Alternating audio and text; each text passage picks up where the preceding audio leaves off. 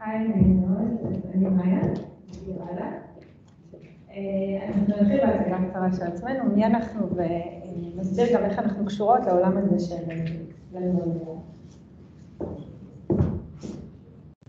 אז היי לכולם, קוראים לי רז בנצ'ל, אני senior manager של data science בחברת אנקרן. יש לי תואר שני בהנדסת מערכות מידע מבן גוריון, שם עשיתי את התזה שלי בתחום של data science, ספציפית בהתמחות מערכות מידע.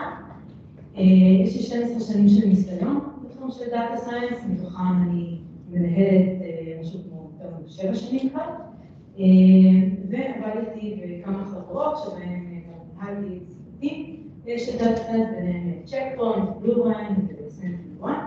בעצם הייתי אחראית על כל המוצרים שהם מבוססי Learning, בשלב הפרטי, עד שלב ה production, והיום אני ב Anaplan שתכף מעט אסביר לכם. אז אני מאיה, אני senior director ב Anaplan, אני מנהלת בעצם את קבוצת ה data science ב Anaplan. תכף נספר לכם קצת יותר על החברה ומה היא עושה. גם לי יש תואר שני בהנדסת מערכות מידע בבן גוריון, ויש בקורס הזה לא מעט ייצוג למחלקה הנהדרת הזאת, כמו שראיתי. אז זה ממש יפה, ואנחנו שם עוד מהימים שהמושג data science לא היה קיים, אז קראו לזה data mining, וככה רק התחום הזה התחיל להיות מוכר, ממש 12 שנה של ניסיון.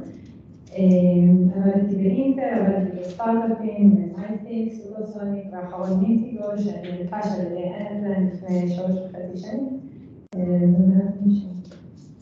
מאיה, זה נראה שממש עשינו כאן copy paste. זה לא טעות, באמת יש לנו מסע ארוך יחד, לי ולרדה. זה לא הכנס הראשון שאנחנו מרצות בו ביחד, אנחנו גם חברות מאוד טובות, אנחנו גם עובדות ביחד, עמדנו ביחד, ואתם רואים תמונות מאוד ישנות שלנו בכנסים בטייוואן וכזה, ורצינו להגיד המון תודה ל DataNights ול-DTI על ההזדמנות הזאת שנתנו לנו עוד פעם לעשות את הדבר הזה ביחד, זה כיף, מאוד נהנינו מההכנות, ואנחנו מקוות שתהנו מהתוכן שיש לנו לספר. אז נתחיל שנייה במושג הבסיסי, Explainability או Explainable AI, מה זה אומר? אז כמו אנחנו Data Scientists פה על הבמה, בונים מערכות AI, והיכולת הזאת של Explainability היא בעצם היכולת של מערכת, מעבר ללתת פרדיקציה או איזושהי תוצאה, גם להסביר איך המערכת הגיעה לתוצאה הזאת, על מה הפרדיקציה הזאת מתבססת, מה הגורמים שעליהם מתבססת ההחלטה של המערכת. אופציה נוספת להסביר את זה, זה בעצם להגיד ש-Explainability באה לענות על השאלה why, למה. אני מקבלת איזושהי תוצאה, אבל למה זו התוצאה? זה מה שהתחום הזה עליו. עכשיו אני אספר לכם קצת על החברה שלנו. אז השם שלה אולי בארץ לא כל כך מוכר, אבל זה כן חברה יחסית גדולה. מוקמת אחרי חברות בארצות הברית, וכמו שאמרתי, לישראל הם נכנסו כשהם רכשו את הסטארט-אפ שאני עבדתי בו. ובעצם מה שאנחנו עושים, אנחנו מפתחים מערכת SaaS לחברות, תכנון אסטרטגי, בעצם תחשבו על חברות נורא נורא גדולות, כמו Boeing וקארטרס או Coca-Cola, המערכות האלה צריכות לבצע תכנון אסטרטגי, בסוף יושב CFO או יושב המנכ"ל, הם צריכים לקבל כל מיני החלטות לגבי החברה שלהם. אז מאוד גדולות, יש להם המון מערכות שהם עובדים איתן ביומיום, המון דאטה שזורם בכל מיני מקומות, מה ש Anaplan מאפשרת להם זה בעצם להביא דאטה מכל המערכות האלה, לכנס את הדאטה הזה למקום אחד, מערכת SaaS אחת, ולבנות תוכניות אסטרטגיות קדימה, איך החברה הולכת לפעול, איך היא תקבל החלטות, איך ייראה פס הייצור, או כל מיני החלטות בתחומי HR, בתחומי ה-Sales וגם בתחומים פיננסיים. באמת הם מחברים מערכות כמו SAP, ERM למיניהם, Salesforce, מערכות של ייצור וכולי, הם מזמינים דאטה לתוך Anaplan, שזה נראה ככה כמו, אנחנו קוראים לזה Excel סטרואידים, יכולת באמת לבצע כל מיני אנליזות, והקבוצה שלנו פה בארץ, קבוצת ה data science, אנחנו בעצם מתכננים לפתח בתוך המערכת הזו של Anaplan פתרונות AI עבור הלקוחות שלנו. ויש שני פתרונות, שני סוגים של פתרונות שאנחנו מפתחים פה בארץ, בקבוצה שלי. הראשון הוא אלו פתרונות של מנועים גנריים לבנייה של מודלים ויצירת החלטות. בעצם הלקוחות שלנו, הלקוחות שמשתמשים במוצר, הם לקוחות business users, אנשי sales, אנשי finance, הם לא אנשים שמתמחים בדאטה סיינס, אבל אנחנו כן רוצים להנגיש להם את היכולות של מערכות AI. אז אנחנו בונים מנועים, שמגיע לאיש ה sales למשל, מעלה את הדאטה שלו, המנוע מייצר לו את החזית ומוסר לו את התוצאות, בלי מגע יד אדם בעצם בדרך. אנחנו מייצרים מערכות למשל של series forecasting, כמו שאתם רואים פה, שזה אגב הקורס הראשון שהצגתי בו ב DataNights, ואני ממליצה עליו מאוד. Series forecasting זה תחום שאנחנו מתעסקים בו, גם בתחומים יותר גנריים ומשלמים, כמו קלסיפיקציות, רגרסיות וכולי. וזה דבר אחד שאנחנו עושים. עכשיו תחשבו על אותו משתמש קצה, שהוא, כמו שאמרתי, הוא איש יותר business oriented. אנחנו רוצים שהוא יסמוך על המערכות שלנו, או היא תסמוך על המערכות שלנו כמובן. לרוב האנשים האלה הם אנשים שנמצאים במה שנקרא digital transformation, הם עוברים איזשהו שינוי בשיטות העבודה שלהם, מכניסים AI לתוך התהליכים שלהם, ואנחנו רוצים שהם יסמכו על המוצרים שלנו וישתמשו בהם בצורה נכונה, יבינו מה זה הדאטה שהם היו ואיך המנוע יבין אותו. ולכן explainability מאוד מאוד חשוב אצלנו, הוא חלק בלתי נפרד מהפתרונות שאנחנו מפתחים, ואנחנו לא נותנים רק פרדיקציות, אלא גם הסברים. אמרתי שאנחנו בונים שני סוגים של פתרונות, הסוג השני של הפתרונות שאנחנו בונים יותר קשור לחוויית הלקוח במערכת, כמו שימוש בשפה טבעית ודברים כאלה, אבל זה טיפה פחות רלוונטי כרגע לאקספלורציה. אוקיי, אז על מה אנחנו נדבר היום? בגדול יש משהו כמו ארבעה חלקים מההרצאה שלנו. החלק הראשון מוטיבציה, למה בכלל כדאי לעשות explainability, אז טיפה נגעתי בזה, ניכנס לזה יותר. החלק השני, נסביר קצת מה זה XAI, כל מיני מושגים מהעולם הזה, טרמינולוגיה ודברים שכדאי לדעת. אחר כך תעלה ראדה, וראדה תספר לנו קצת על עצים, תזכיר לכולנו ככה את השיעורים באוניברסיטה או בקורסים שראינו על איך בונים עצים, וזאת במטרה להסביר איך בונים explainability בעצים, וגם בעולם הרפואה. אבל נתחיל במוטיבציה, למה אנחנו צריכים את זה? בחרתי לשים פה תמונה כזאת של אצן רגע לפני שהוא יוצא למרוץ, כי התחום הזה של explainability מאוד חם, והרבה רוצים, עובדי העולם הזה, הרבה רוצים לדעת עליו ולממש אותו, אבל רציתי להגיד ששנייה לפני שרצים, כדאי לחשוב מה המוטיבציה, מה הצרכים, למי הדבר הזה מיועד, ובאמת מה הצורך כדי להתאים את פתרון ה-explainability לצורך שקיים. אתם תראו שיש הרבה מאוד אופציות איך להביא, איך להסביר מערכת AI. אתם תראו את זה לאורך הקורס הזה, ולכן חשוב שנייה להבין מה המצב. אז העולם הזה של explainability הוא עולם לא חדש. בעצם השיטות, שיטות שקיימות כבר לא מעט שנים, ובכל זאת, רק בשנים האחרונות יש איזושהי עלייה בהתעניינות בתחום הזה, יותר ויותר מדברים, עושים קורסים וכולי. ולמה זה קורה? ההסבר הוא מאוד פשוט, זה פשוט חלק מהגל הזה של AI. ככל ש-AI עולה, יש יותר משתמשים, הוא נכנס ליותר תחומים, יש יותר כסף בעולם הזה, אז גם צריך יותר להסביר את המערכות האלה. הן כבר לא יכולות להישאר בבלק בוקס, יש דרישה להסבר. אני שמתי פה גרף שמראה את העלייה המטאורית בכמות ההשקעות ב-AI, ככל שהשנים מתקדמות וגם את התחזיות קדימה. אפשר לראות את העלייה בכמות הפרויקטים מבוססי Machine Learning, העלייה ממש אקספוננציאלית, פרויקטים פר חברה בתחומים האלה. וגם כמובן AI נכנס לכל תחומי התעשייה, לכל הסקטורים, גם כל שקשור להייטק כמובן, אבל גם בתחומי הפיננסים, ה-healthcare, education, communication וכולי, זה נמצא בכל מקום. זה אומר שיותר ויותר אנשים צריכים לעבוד עם המערכות מבוססות AI, מבוססות Machine Learning, צריכים להשתמש בתוצרים שלהם, לשנות את שיטות העבודה שלהם, ולכן אנחנו רוצים יותר הסבר, ואנחנו כדי צריכים לספק יותר הסבר, כדי שהמערכות שלנו באמת יתקבלו אצל כל אותם אז למה עכשיו אני מקווה שזה ברור? ומה שאני רוצה עכשיו לעשות זה לתת כמה דוגמאות לאיך אנחנו יכולים לנתח ממש את פתרונות ה-AI ו-explainability לתוך המערכות שלנו. בעצם למה זה יכול לשמש ואיך זה מתחבר ביחד. אז הסיבה הראשונה, שהיא סיבה מאוד חשובה לממש מערכות שמסבירות את המודל, בעצם כדי להימנע מבייסס של מודל. שמתי כאן איזושהי דוגמה מחברת אמזון, אמזון פיתחו איזשהו מודל שהיה אמור לעזור להם בתחום של הגיוסים. המודל הזה קיבל קורות חיים והיה אמור לדרג אותם, ובעצם להחליט מי יגיע לרעיון באמזון ומי לא. התחילו לעבוד עם המודל במשך איזושהי תקופה, יש כל מיני גרסאות, אם באמת עבדו איתו, הסתמכו עליו, לא משנה, אבל עובד איזושהי תקופה, ואחרי תקופה גילו שבאופן קונסיסטנטי נשים מקבלות ציון הרבה יותר נמוך על ידי המודל הזה לעומת גברים. מישהו יכול לחשוב למה?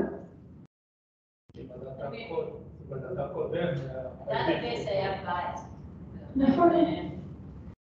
הטיה מאוד מאוד בסיסית, ה database שהם הסתמכו עליו היה קורות החיים של עשר שנים אחורה, שקורות חיים שהגיעו לאמזון, שכמובן רובם היו גברים, כי זה מה שהיה בתעשייה, זה מה שקיים עדיין עד היום, וגם רוב העובדים שהתקבלו היו גברים, ואז כשחקרו קצת יותר את המערכת, באמת ראו שכל מי שכתבה, למשל שהייתה בליגת כדורסל לנשים, או באחוות נשים בקולג' או משהו כזה, ברגע שהמילה women או women הופיע שם, חד משמעית לא היה סיכוי לאותם מקומות חיים לקבל ציון גבוה.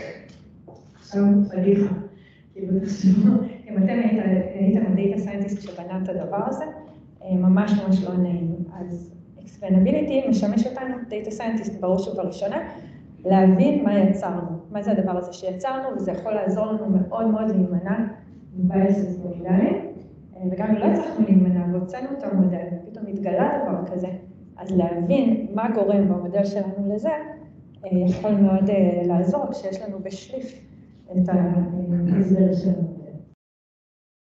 דוגמה נוספת, ש-GPT היקר, ככה מכירה את זה, לרשום שיר, איזשהו טון שיר על המאפיינים החיוביים של ג'ו ביידן, והוא פרץ במין שיר כזה עם מלא מלא מלא מחמאות,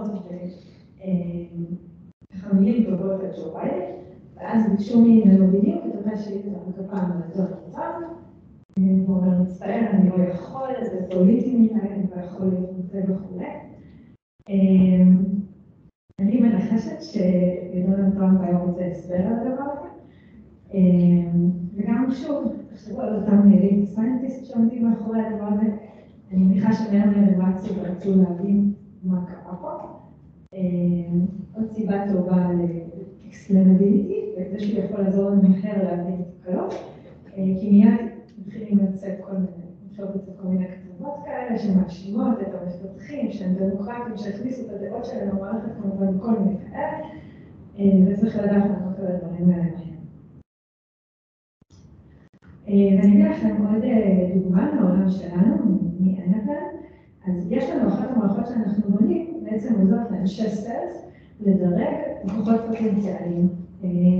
אנשי הסיילס באים, הם מעלים, נגיד מוצר מסוים, את כל רשימת הלקוחות שכבר קנו את המוצר הזה, ורשימה של לקוחות פוטנציאליים שעדיין לא רכשו אותו, והמערכת שלנו מחזירה להם תוצאה, דירוג, של מי אלו עם הפוטנציאל הכי גבוה לרכוש את המוצר, על הכי פחות, ואז הם יכולים לרכז את מאמצי ה sales שלהם, את הזמן שלהם, בלקוחות שיש פוטנציאל יותר גבוה שבאמת בסוף ירכשו את המוצר. כמו שאמרתי, הם עושים את זה בלי שיש להם גם איזשהו data scientist. והיה לנו איזשהו לקוח שמרבית הדאטה שלו, מרבית הלקוחות הקיימים שלו בעצם היו בארצות הברית, לא במאה אחוז, עזבו בין המודל והמודל נראה אחלה, ביצועים טובים, אנחנו גם מדווחים ללקוחות על הביצועים, נותנים כל מיני מדדים, זה היה טוב, הוא התחיל להשתמש, הכל היה בסדר, ואחרי תקופה פתאום החיזוי התחיל לרדת ולרדת ולרדת, והוא בא בטענה שאני לא מבין למה המודל שלכם נותן רק ציונים נורא נמוכים לחברות. אז מה שאנחנו יודעים לעשות זה דבר ראשון, לפתוח את ה explainability, אנחנו צריכים לתמוך בהרבה לקוחות ושואלים אותם כל מיני שאלות, וזה משהו שככה נותן לנו מהר תשובה, ובאמת ראינו שאחד ה features המרכזיים שם היה country, country שווה ל United States, ובשיחה קצרה הבנו שאותו לקוח בעצם החליט לפתח שתי חברות באירופה, וזהו, וזה כבר לא התאים, כי חברה שהיא קאנטרי שלה לא היה United States, המודל לא דירג אותה טוב. אז א', אם אנחנו נותנים explainability ללקוח, ואנחנו אומרים לו שלמשל country US הוא feature חזק במודל, הלקוח יבין לבד את הטעות, כאילו בסיכוי טוב, הוא יבין לבד את הטעות, ואז הוא יוכל למשל להוריד את ה feature הזה מה data set שלו, וככה למנוע את ה bias, ופחות תלונה אלינו. וגם כשזה כבר מגיע אלינו, ה explainability מאוד מאוד עוזר לנו לעלות מהר על תקלות ולתת מענה מהיר מאוד ללקוחות. במקרה הזה, היו לנו עוד כמה מקרים דומים, מה שעשינו כשהבנו את המקרים האלה, אז אוקיי, אני יכולה לתת ללקוח את ה explainability, ואני יכולה לקוות שהוא יבין שיש לו פה איזשהו feature שגורם להטיה, אבל אנחנו לקחנו את זה צעד אחד קדימה, ובאמת בנינו איזושהי אוטומציה באזור ה feature selection שלנו, משהו קצת יותר עדין מ feature selection רגיל, שידע לזהות פיצ'רים שהם ממש נראים כאילו טובים יחסית במודל, אבל אנחנו יודעים שעלולים לגרום איזשהו הטיה, וככה להתייחס לזה. ובעצם לא להשתמש בפיצ'רים האלה, עם אותה מערכת, באמת איזשהו בלנס עדין שלקח לנו זמן לפתח אותו, אבל להבין מה עלול לגרום בייס, ולעומת תועלת לדיוק המודל, לעשות איזשהו משחק. זה מביא את הנקודה הבאה, שזה הקשר בין explainability ל feature selection. אז באמת, אני מניחה שחלק גדול פה, חלק מהעבודה שלהם זה כל הנושא של feature selection, בעצם איך לבחור את ה features הטובים ביותר למודל, ועם explainability אפשר לייצר מין מעגל למידה כזה, שמאמנים מודל, מסתכלים, מבינים מה המודל הזה שם יש מכאן, משפרים את תהליכי ה feature selection שלנו, באמת חוזר חלילה, מאוד מאוד עזר ומייעל את התהליך על כל נושא האופטימיזציה, סליחה, של ה feature selection. אוקיי, explainability גם עוזר לזהות באגים, אז מה זה זה? טסלה, נכון. טסלה באמת אחד הדברים היותר מופלאים, אני חושבת, שייצר יאללה, טסלה בפרט, אלא בכלל, כל הנושא של רכבים אוטונומיים, אחד הדברים היותר גדולים שעשו בשנים האחרונות מעולם ה-AI, שלפי דעתי כבר עושה שינוי בעולם, אבל לדעתי לעשות שינוי משמעותי יותר, באמת. אבל טסלה הזאת נראית ככה, אחרי תאונה ממש קשה שהגבת אחרי היעלה. ובתאונה הזאת נהג autopilot של טסלה, ולא רק בה, בשנת 2018 היו כמה וכמה תאונות ממש לא פשוטות שה autopilot נהג, וזה נגמר בזה שאנשים איבדו את חייהם. מאסק כמובן טען שמה פתאום, וזה לא ה autopilot, אבל הנתונים מראים אחרת. ותחשבו על אותם data scientists באמת חכמים שיושבים ומפתחים את אותה טסלה, ככל שיהיה להם אקספלנביליטי ביד, ידעו מהר יותר לטפל בתקלות האלה, בתקווה לזהות את המקור שלהם ולחסוך חיי אדם. אז לפעמים באמת מאוד מאוד עוזר לפתור מהר יותר תקלות.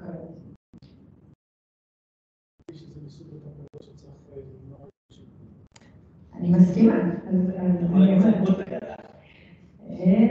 אלו במיוחד, אני מסכימה, אני חושבת שאקספלנביליטי, עלינו שהוא עוזר לנו להימנע מהרבה תקלות, אבל אין מה לעשות, כולנו בני אדם, אבל גם כשקורה באג, היכולת שלנו להגיב מהר ולפתור אותו, הרבה פעמים תלויה ב explainability, לפחות מהניסיון שלי. גם כמובן תקלות מביכות כאלה שכולנו מכירים.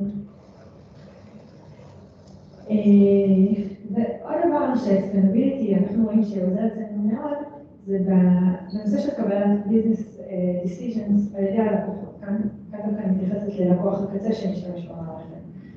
ושתי דוגמאות שיש מהעולם שאנחנו מתעסקות בו, הראשונה זה שהלקוחות אצלנו משקיעות הרבה הרבה מאוד כסף ברכישה של דאטה, שהן חושבות שהדאטה הזה מאוד רלוונטי ליצירת תחזיות עבורם, מאוד קורלטיבי למה שקורה אצלם, זה יכול להיות מידע פיננסי, מידע חברות אחרות, כל מיני כאלה.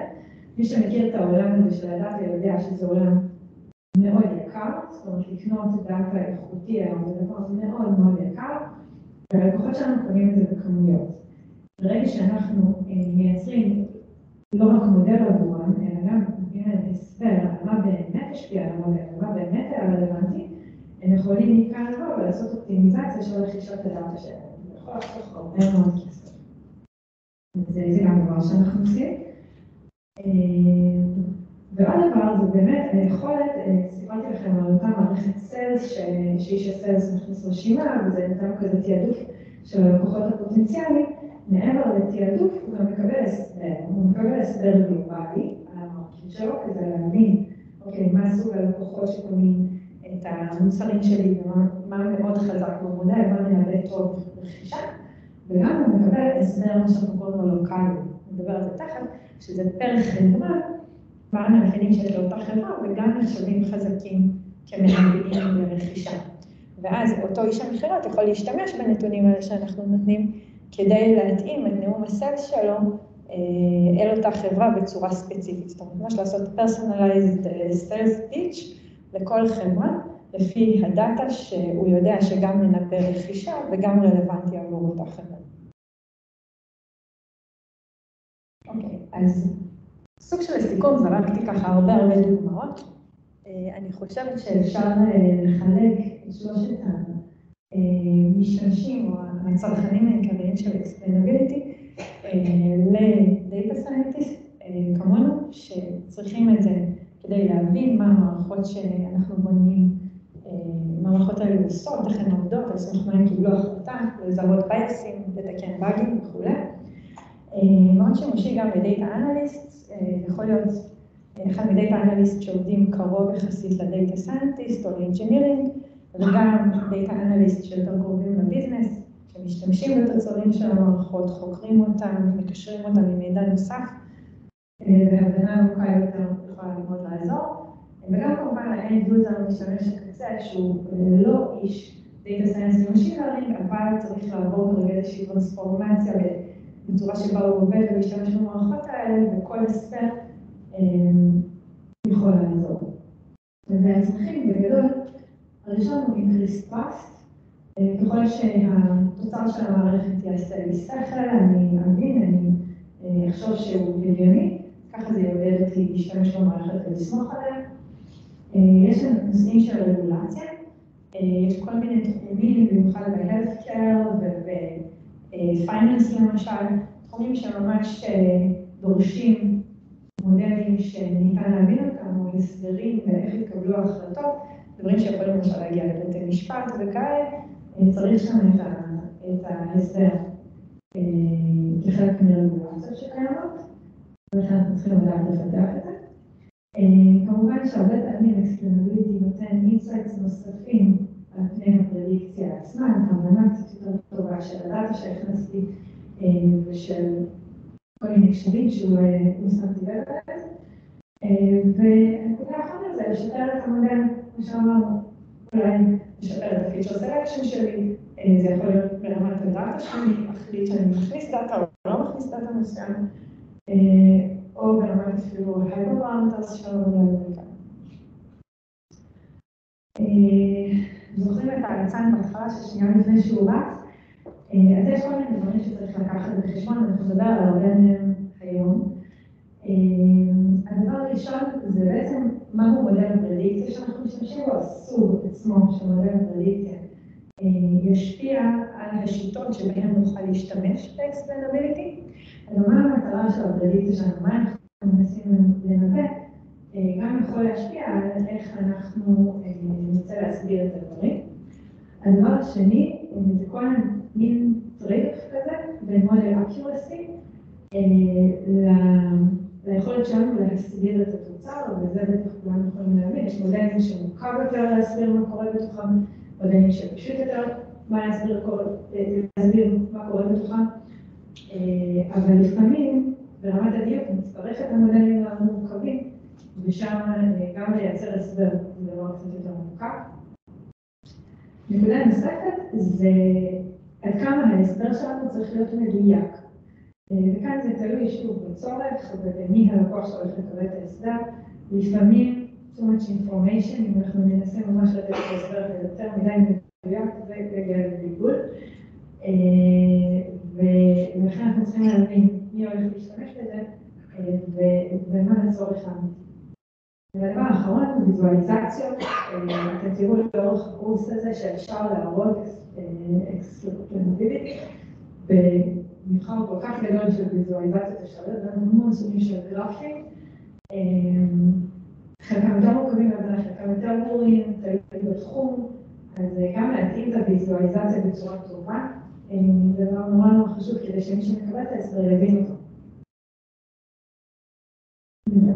אז ניכנס עכשיו קצת יותר להגדרות טרמינולוגיים והסברים בעולם. אז יש איזושהי הבחנה שנורא נורא חשוב לי לעשות אותה. אני חושבת שהיא משמעותית להבין את התחום הזה של אקספלנביליטי וגם לדעת להשתמש בתוצרים שלו בצורה נכונה. וזאת ההבחנה של ההבדל בין מה קורה כשאני מסבירה את הדאטה עצמו לבין מה קורה כשאני מסבירה את המודל של, הפרדיקציות שלו.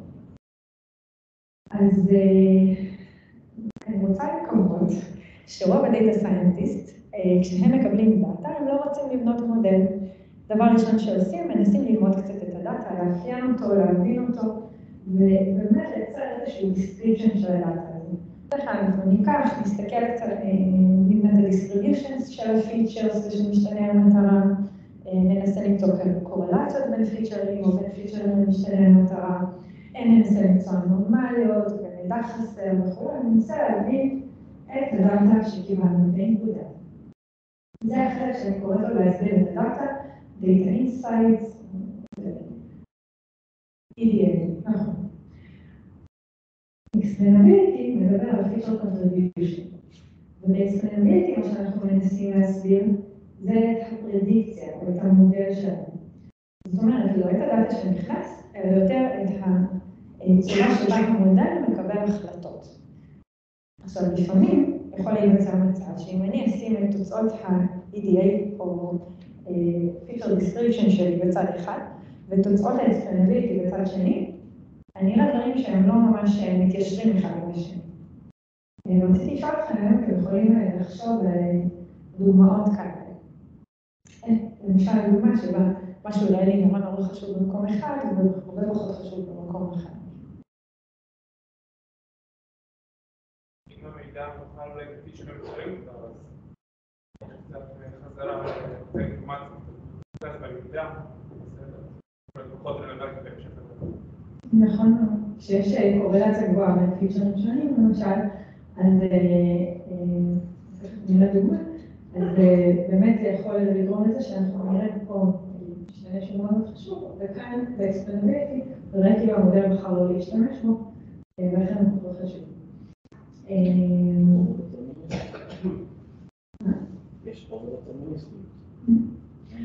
אז מה שעכשיו תיקנת ב feature contribution, יש את הנושא של feature importance, זה כמה דוגמאות, feature importance ו-decision trees, שראדה תלמד אותנו בדיוק איך הדבר הזה מחושב. אני חייבת להגיד שלפני ההרצאה הזאת אני שנים משתמשת ב feature importance, אבל אף פעם לא עבדתי בדקויות של איך הזה מחושב, אז יש למה לצפות. וגם SHAP values שההרצאה הבאה תעסוק בהם. אני אתן דוגמה. בחרתי להביא לכם דוגמה מהעולם של time series forecasting, שאני מאוד מאוד קרובה אליו ולא יודעת אותו. אז מה אנחנו רואים פה? יש לנו את הקו המקווקו, והוא משתנה המטרה שלנו. בעצם, מה הדרישה למסכות פנים, מסכות של קוביד. ואז יש לי שני פיצ'רים. הפיצ'ר הכחול מדבר על כמה מקרים חדשים של קורונה התגלו באותו יום, והפיצ'ר האדום אומר כמה אשפוזים יש באותו רגע נתון. וכמו שאתם רואים, הפיצ'רים הם די קורלטיביים אחד לשני, וזה נושא היגיון, ככל שיש יותר מקרים חדשים, ככה כמות המקרים, כמות האשפוזים תעלה. וגם יש קורלציה כמובן למכירת המסכות. עכשיו אני כדאטה סיינטיסט, אני אבוא ואני אנסה להמשיך ככה קו חיזוי על ידי אלגוריתמים של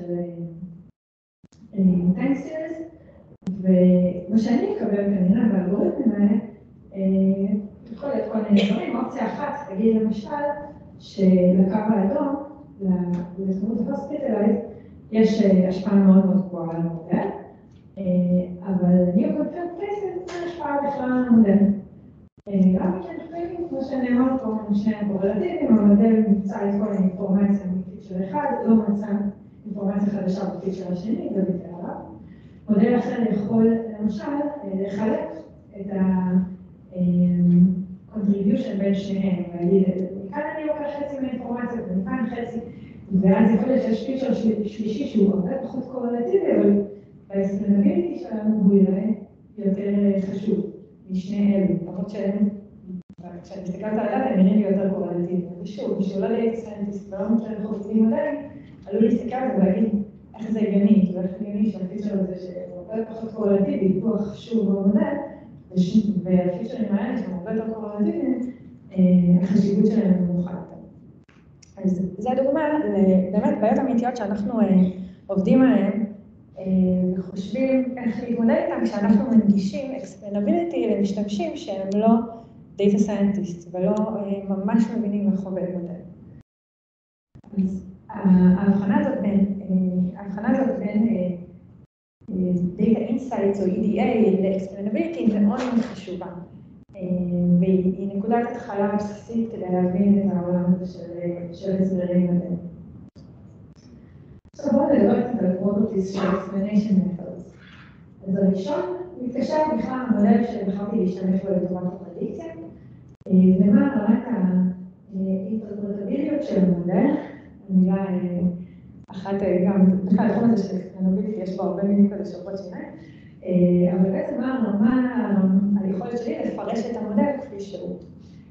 כמה הוא ברור. וכאן יש את שני המושגים הבסיסיים, white box ו-black box. ב-white box מודל אנחנו מדברים על מודלים שאני פשוט כאדם יכול להסתכל ולהבין אותם, להבין את הלוגיקה שלהם שם, נמצאים שם למשל לייצר החלטה פשוטים, מעט זרמות, מעט פיצולים, וכל הרגרסיות שבהם אני יכולה להסתכל על ה-coefficients ולהבין מה היה חשוב, מה היה פחות חשוב, ושיטת הרגרסיה, אני מקווה שכולנו מכירים, ומכאן כבר להבין איך המודל קיבל את ההחלטות. black box models מודלים היותר מורכבים, שבהם לנו אדם שמסתכל על המודל, אין לנו יכולת לתת הסבר פשוט למה קורה פה. וכמובן נמצאים כאן networks, XGBoost וכו'. יש בעולמות ה-explainability אלגוריתמים שמה שהם מנסים לעשות זה לקחת black boxים, מודלים מורכבים, בסוג של להפוך אותם ל-white boxים, שהכוונה הם מנסים ללמוד את החוקיות שלמד המודל ולשקף אותה לבני אדם. ממש ללמוד חוקים. חלק מהאלגוריתמים, תראו לאורך הקורס, חלק מהאלגוריתמים רק מנסים להגיד מה הייתה התרומה של פיצ'ר מסוים, איזושהי תרומה רלטיבית לפיצ'רים אחרים או כל מיני כאלה, ויש מודלים שממש מנסים ללמוד חוקיות, ומעבר ל contribution גם ממש להראות חוקים. יש את הגרף הזה שמנסה להגיד ככה, לשים את המודלים על איזשהו ציר בין מודלים שהם ממש אינטרפרטבול וכאלה שהם פחות, מודלים שדיברנו עליהם. ומה שאני חושבת, כמישהי שרוב המודלים שאני מייצרת, אני צריכה גם לתת עבורם הסבר, זה שאנחנו באמת צריכים לשקול טוב טוב את המעבר הזה, זאת אומרת להתחיל סימפל, כאילו סימפל, עד שזה כבר לא טוב מספיק מבחינת דיוק, ועד להתקדם לאזורים המורכבים יותר, כדי ש... כי כאילו במעבר הזה, אנחנו, ככל שאנחנו מתקדמים מודלים מורכבים יותר, התחום הזה של לייצר הסבר נהיה מורכב יותר, אתם תראו, האלגוריתמים שגם משתמשים לייצור הסברים הם אלגוריתמים כבדים, הם דורשים הרבה מאוד resources, ולכן לעשות את המעבר הזה רק שבאמת אנחנו צריכים, מבחינת דיוק של מודלים. וגם אם אתם תחפשו קצת על אקספלנביליטי בגוגל, אתם תקבלו כל מיני גרפים מהסגנון הזה, שמנסים לציר אחד, לשים את יכולת האינטרפרטביליות של המודל, אקספלנביליטי, כמה הוא ברור, ובצד שני, כמה המודל מדויק, ואתם תראו הרבה גרפים כאלה, ואתם גם תראו שונים מאוד אחד מהשני. אז הייתי שמחה לשמוע מה אתם חושבים למשל ספציפית על הגרף הזה שבחרתי לשים. מה המחשבות שעולות בראש?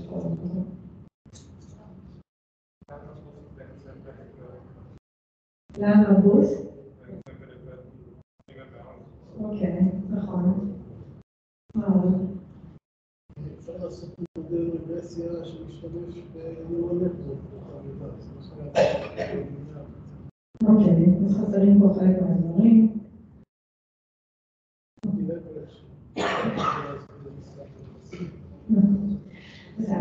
אני אגיד כשאני רואה את הגרפים האלה, אני אומרת, יש פה איזושהי הכללה מאוד מאוד גסה, זה לא תמיד נכון, אני ראיתי הרבה מקרים של לוגיסטיק בגלל שעשה עבודה מצוינת, כמו רנו פורס למשל, יש פה איזושהי הכללה, אבל צריך רק להבין מה הם מנסים להגיד, ואתם תראו כאילו מיקומים שונים של אלגוריתמים בין הגרפים השונים, אז א' להיות ביקורתיים לגבי מה שאנחנו רואים באינטרנט, זה דבר חשוב, והדבר השני, מה שמנסים להגיד פה זה שיש איזשהו trade-off בין explainability לדיוק של מודלים, ושוב, כדאי לשים לב ולהבין אותו כשאנחנו באים לבחור את מודל הפרדיקציה שלנו.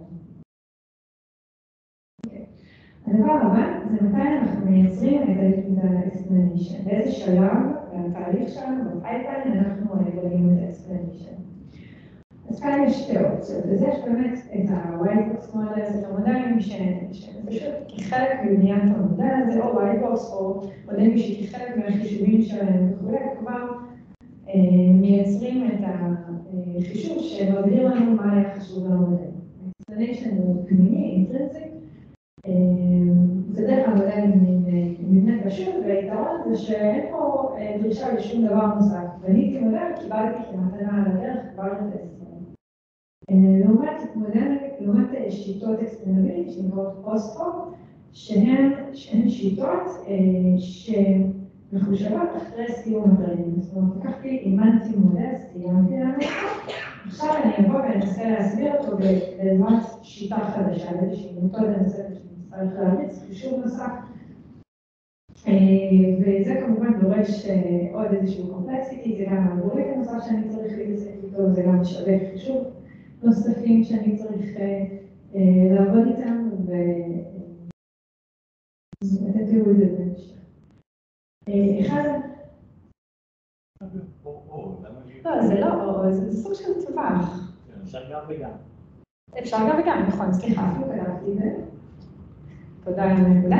כתבתי שאת השיטות post-hoc אפשר גם לחשב על מודלים שהם intrinsic, זה נכון. אין שיטה, זאת שיטה שקורית אחרי ה training, ואין שום בעיה לקחת את ה logistic regression לצורך העניין ולהריץ עליה את הדברים האלה. השאלה שוב צריך להבין את הצורך והאם יש לי באמת צורך לדבר. זה מאוד תלוי ב instance. אוקיי, אחת השיטות שנקראות כ post-hoc, זו שיטה שמשתמשת ב surrogate model, איזשהו מודל מתווך של זה, וזה עובד בגדול בצורה רבה. אנחנו באים לייצר איזושהי תחזית, אז כמובן מה שאנחנו לוקחים זה variable, input variable, איזשהו מודל, מכניסים את הדאטה למודל, ואנחנו מקבלים תחזית. נכון, עד כאן משאיר לנו קלאסי. בשלב הבא, מה שאנחנו עושים, זה מאמנים מודל נוסף. אבל הפעם המודל הזה מאומן על ידי input feature, אותם input features שהכנסתי למודל הראשון, אבל עם ה-predictions של המודל הראשון. זאת אומרת, לא עם ה-target variable, ה-label שלי הוא ה-predictions של המודל הראשון. אני מזכירה שאנחנו לא מנסים להסביר את הדאטה או לייצר תחזית, לייצר תחזית, סליחה, אלא אנחנו מנסים להסביר את התוצאות של המודל הזה. ואז מה שקורה, surrogate model שהוא בדרך כלל מודל פשוט יותר להסבר, או יהיה בתחום הרגרסיה למשל, או עצים, משהו שהוא יחסית פשוט. ייצר לנו את הפרדיקשנס של הפרדיקשנס, כן? ינסה לחכות את המודל המורכב הזה.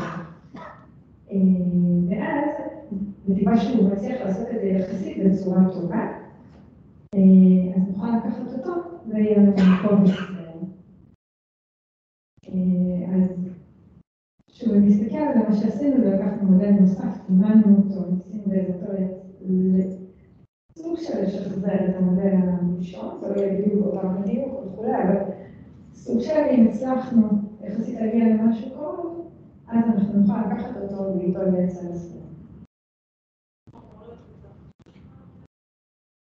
כן, התשובה היא כן. פשוט יותר, ואז קל לנו יותר להסביר אותו. אז שוב, למשל כאן יש איזושהי, אה, איזשהו אולי ויתור על רמת דיוק לפעמים, נכון? כי אנחנו משתמשים באיזשהו עזר כזה כדי להסביר, אז יכול להיות שההסבר לא יהיה מושלם, אבל עדיין יהיה לנו הסבר לעומת מודל כזה, למשל אני לא נטוורק כזה שלנו יכולת להסביר, אז יש משהו שעוזר לנו, נותן איזושהי רמה של ההבנה של מה.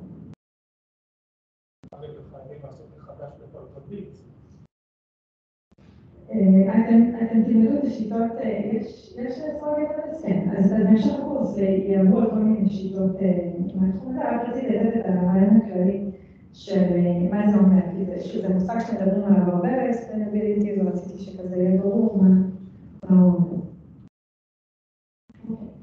הדבר הבא, הן שיטות שהן model agnostic לעומת model specific.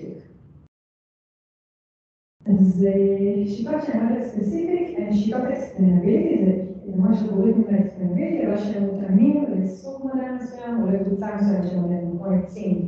למשל, אז עדה תדבר על ה-importance score, וזה משהו שמתאים לעצי החלטה. כמובן, רגרסיה, ה-coefficient שלה רלוונטיים רק לרגרסיה.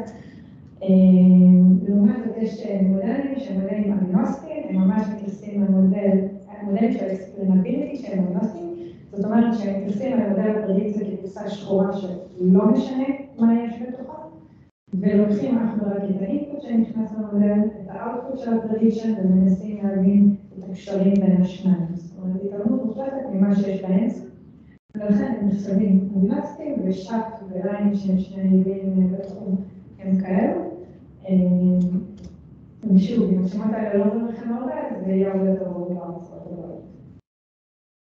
הדבר הבא, הסבר גלובלי לעומת הסבר לוקאלי. בהסבר גלובלי אנחנו ננסה להסביר בגדול את המודל, יותר מן היי-היילר כזה של המודל, להסביר את הפרדיקציות, בעצם מנסים להסביר את המודל הזו של הקלאס, של הפרדיקציה שהמודל נתן. בהסבר לוקאלי אנחנו ממש ננסה לקחת איזשהו מים מסוים, use case מסוים, ולהסביר למה הוא דווקא קיבל את הפרדיקציה הזאת. ושני הדברים הם שימושיים ללקוחות, שוב, תלוי מה המטרה אנחנו מנסים להגיד. אפשר לעשות גם משהו שהוא ביניים, ולהסביר איזשהו סגמנט מתוך. למשל, פה אני סימנתי את כל הרשומות שהאינקאם שלהם הוא היי, ועכשיו אני ארצה להבין בגדול מה המודל, איך הוא ממדל רשומות שהאינקאם שלהם הוא היי. ויש דרכים לעשות את זה בגדול, דרך אחת זה לקחת שיטות הסברים להסברים גלובליים, כאלו שמסביר רק בהיי-לבל את המודל, ולנסות לחשב אותם רק עבור אותו אותה תת-קבוצה. והאופציה השנייה זה לקחת את השיטות שהן לא כאלה explanations, שלא ממש להסביר רשימה ספציפית, להשתמש בהן עבור כל אחת מהרשימות האלה, לקבל הסבר, ואז לעשות איזושהי אגריגציה.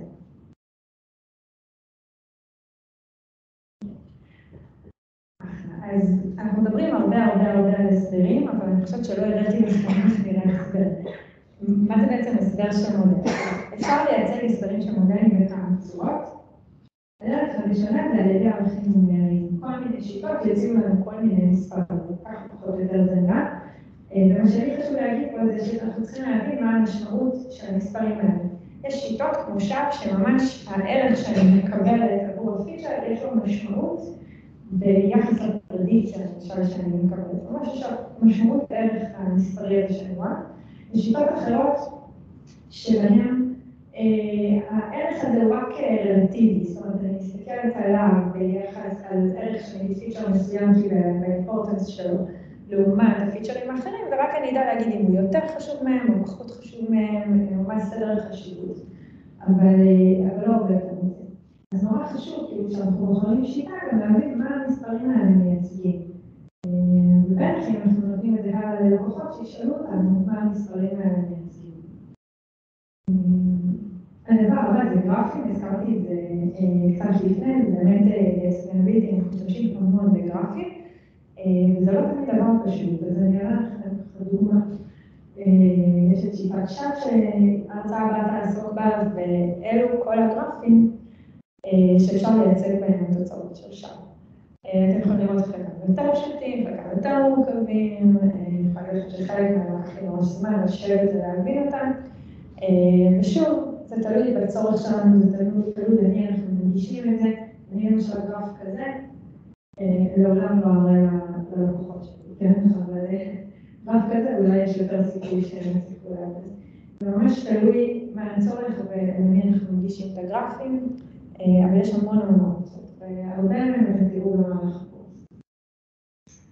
האופציה השלישית היא שימוש בשפה טבעית, לפעמים יש משתמשים שגרפים, מספרים וכל מיני כאלה יכול להיות much עבורם, ואנחנו נרצה לייצר איזשהו מנגנון של שפה טבעית שמסביר קצת על מה המודל הזה יתבסס, בלי להיכנס לדיוקים מספריים יותר מדי, וזה גם משהו שאפשר לשקול אותו.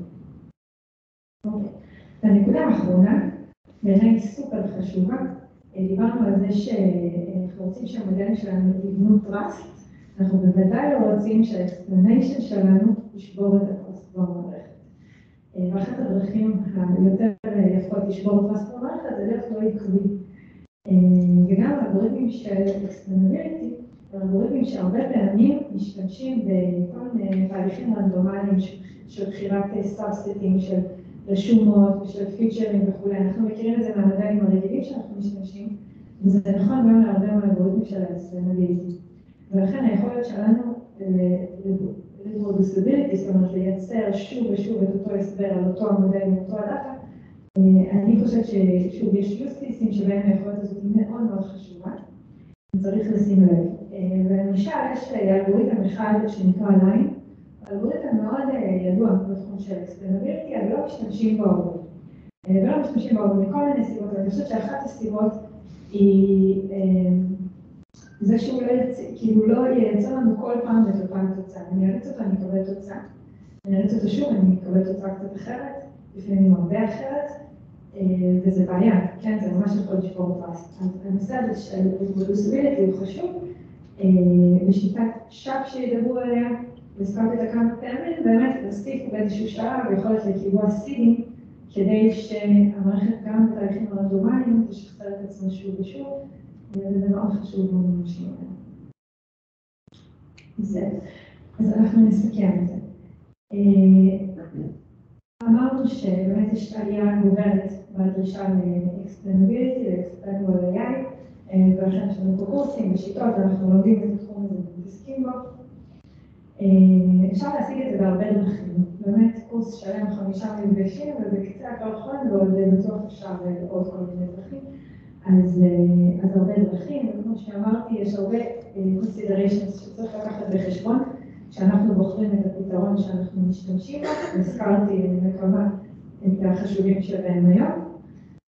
והבחירה החכמה כמובן בסוף היא זאת שתכריע את היעילות שלנו.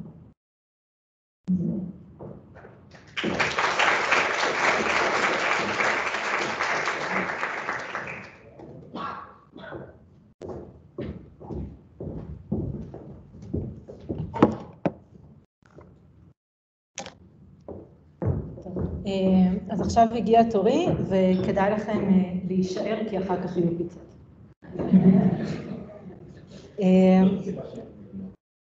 האמת שהייתה איזושהי טעות, ואני רואה שהמחשב הולך למות, כי מישהו הוציא את הכבל. רגע, טוב שבאתי.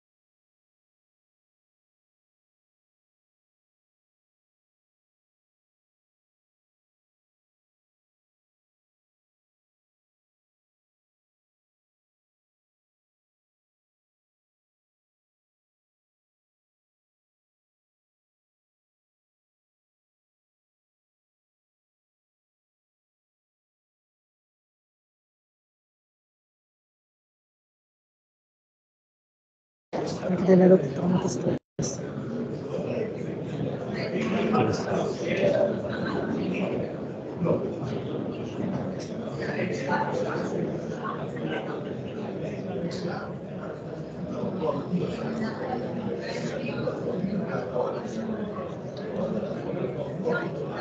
מה אחי?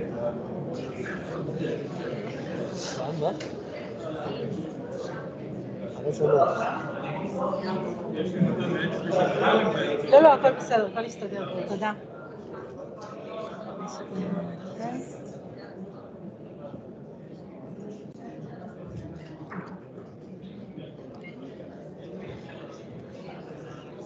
טוב, בינתיים אנחנו יכולים להמשיך.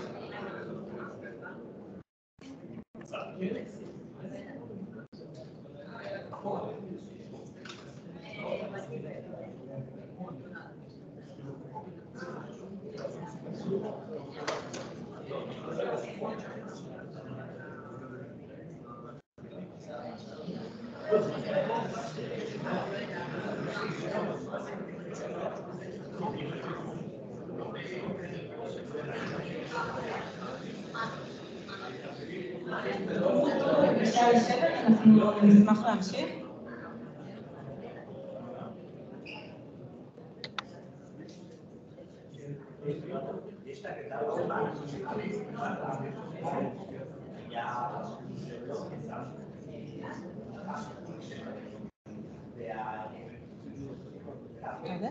אצלי הכל עובד. זה מודיעין? בסדר? בסדר, יהיה בסדר. זה מקליט אצל מוריה? זה לא מקליט על המחשב, זה מוריה היה...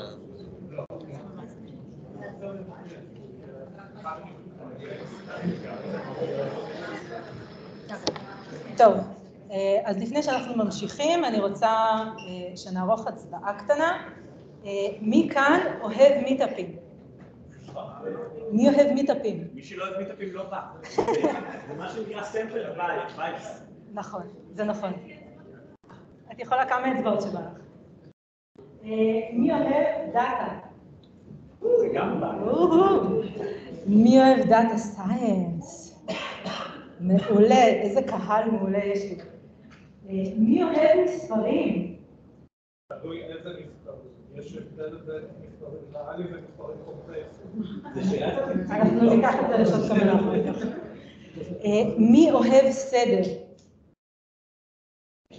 מה אמנים? עוד, אתה שואל שאלה שניקח אה, עוד חודש נעשה כתבי שלנו בסדר? אה, לאט לאט, תכף נראה למה אני מתכוונת. אני לא שאלתי קושיות. אה, ומי אוהב עצים? אז אנחנו עכשיו נראה איך אנחנו לוקחים את כל הדברים הנהדרים האלה ומשלבים אותם ביחד. אז קודם כל, למה אנחנו הולכים לדבר על decision trees, על עצי החלטה?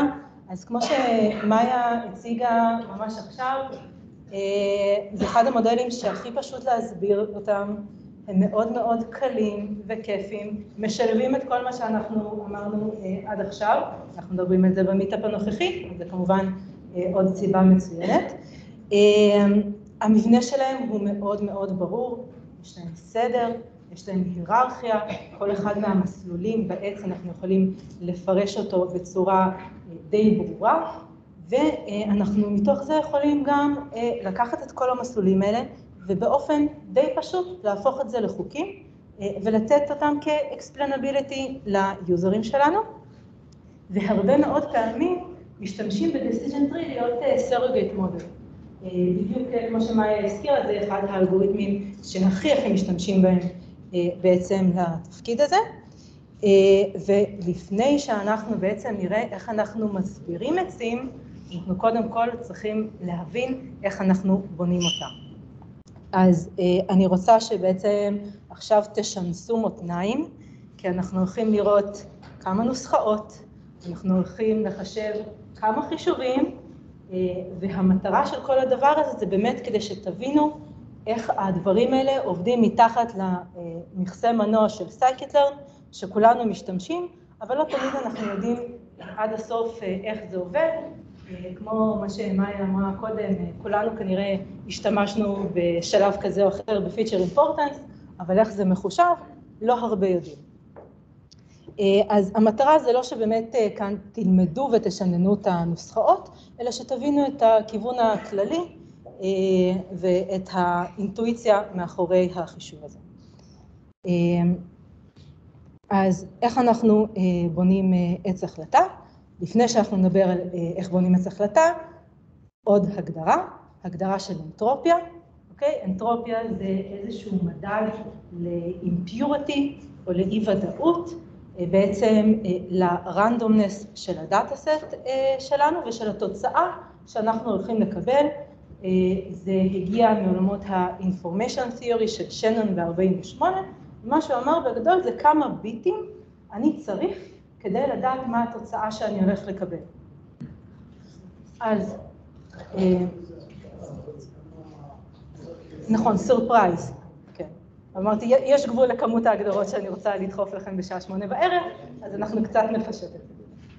אמ, אז נגיד שיש לנו אה, מטבע שהוא הוגן, שההסתברות לקבל עץ היא חצי, ההסתברות לקבל פלי היא חצי, האי-ודאות, כלומר כמה ביטים אנחנו צריכים כדי לדעת מה התוצאה שאנחנו הולכים לקבל, זה אחד. אנחנו לא יודעים אם אנחנו נקבל עץ או פאלי, צריכים ביט אחד. אם יש לנו מטבע שהוא לא הוגן, שאנחנו הולכים לקבל ב-100% של הסתברות עץ או ב-100% של הסתברות פאלי, אנחנו לא צריכים ביטים. האנסרטיטי שלנו הוא אפס. אנחנו יודעים מראש מה אנחנו הולכים לקבל. וזה בעצם מוביל אותנו לנוסחה הזאת של האנטרופיה, של מינוס פי לוג פי, כאשר פי זה בעצם ההסתברות לקבל ערך מסוים של x, ואנחנו תכף נראה איך אנחנו משתמשים. מה? לוג אפס הוא undefined, אנחנו פותחים את הלוגים לפי השיטות של החיבור וחיסור אה, של הלוגים, ואנחנו מקבלים אפס. תכף אנחנו נראה דוגמא. אה, וכאן יש לנו עוד כמה חישובים, אז למשל כאשר ההסתברות לקבל אה, עץ היא 25 אחוז, וההסתברות לקבל פאלי זה 75 אחוז, אז האנטרופיה היא תהיה 0.81, וכמובן שזה גם סימטרי, וכו' וכו'. וכאן אנחנו בעצם רואים את הגרף של האנטרופיה עבור מצב שיש לנו שתי תוצאות אפשריות, כלומר לטרגט שלנו יש שני ערכים אפשריים, ואנחנו רואים שב-P שווה חצי אנחנו מקבלים את האנטרופיה המקסימלית של 1. כמובן, אם יש לנו יותר אה, משני תוצאות אפשריות, אז האנטרופיה המקסימלית היא תהיה יותר גדולה, אז אם יש לנו שלוש, אה, שלוש תוצאות אפשריות אה, למשתנה מטרה שלנו, אז לוג של שלוש זה בערך 1.58 או משהו כזה. בעולמות שלנו של החישובים ושל הבנייה של העצים, אז אנחנו צריכים לחשב אנטרופיה שהיא מותנית, בעצם אין לנו רק משתנה מטרה, אין לנו רק outcome אחד עם attribute אחד, אז החישובים קצת יותר מסובכים, תכף אנחנו נראה דוגמאות לכל הדברים האלה, אתם לא צריכים לזכור את הנוסחאות האלה. ובסוף אנחנו צריכים לחשב את ה-mutual information, או במילים אחרות את ה-information gain, בעצם לדעת איך כל פיצול בעץ שאנחנו בונים מוריד לנו את ה-uncertainty, את ה-uncertainty שלנו.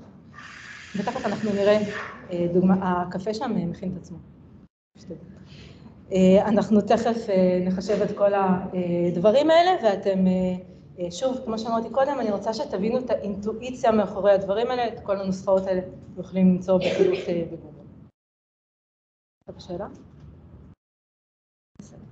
אז הנה מבנה סכמטי של עץ, אנחנו מתחילים בשורש ומתקדמים הלאה והלאה, ובעצם אנחנו צריכים בכל שלב לבחור את הפיצ'ר שמפצל לנו את העץ בצורה הכי טובה.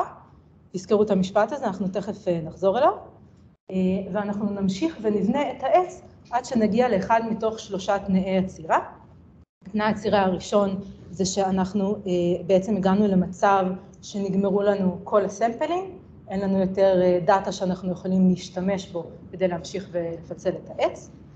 תנאי עצירה שני שהגענו למצב שכל התצפיות תחת אותו פיצול אה, שייכות לאותו הלייבל, אז בעצם הגענו למסקנה, אין לנו בשביל מה להמשיך את הפיצול.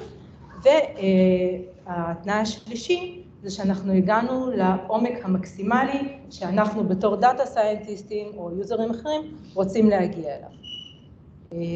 ומה שתיארתי לכם עכשיו זה בעצם האלגוריתם הזה של קווינלן, ID 3 מ-1986, האלגוריתם הזה לא השתנה, אבל מה שאני הכי רוצה שבעצם ניקח מכאן זה מה זה לבחור את ה-attribute שמפצל לנו בצורה הכי טובה, וכדי שאנחנו נעשה את זה, אנחנו נשתמש ב-information gain שהגדרנו מקודם.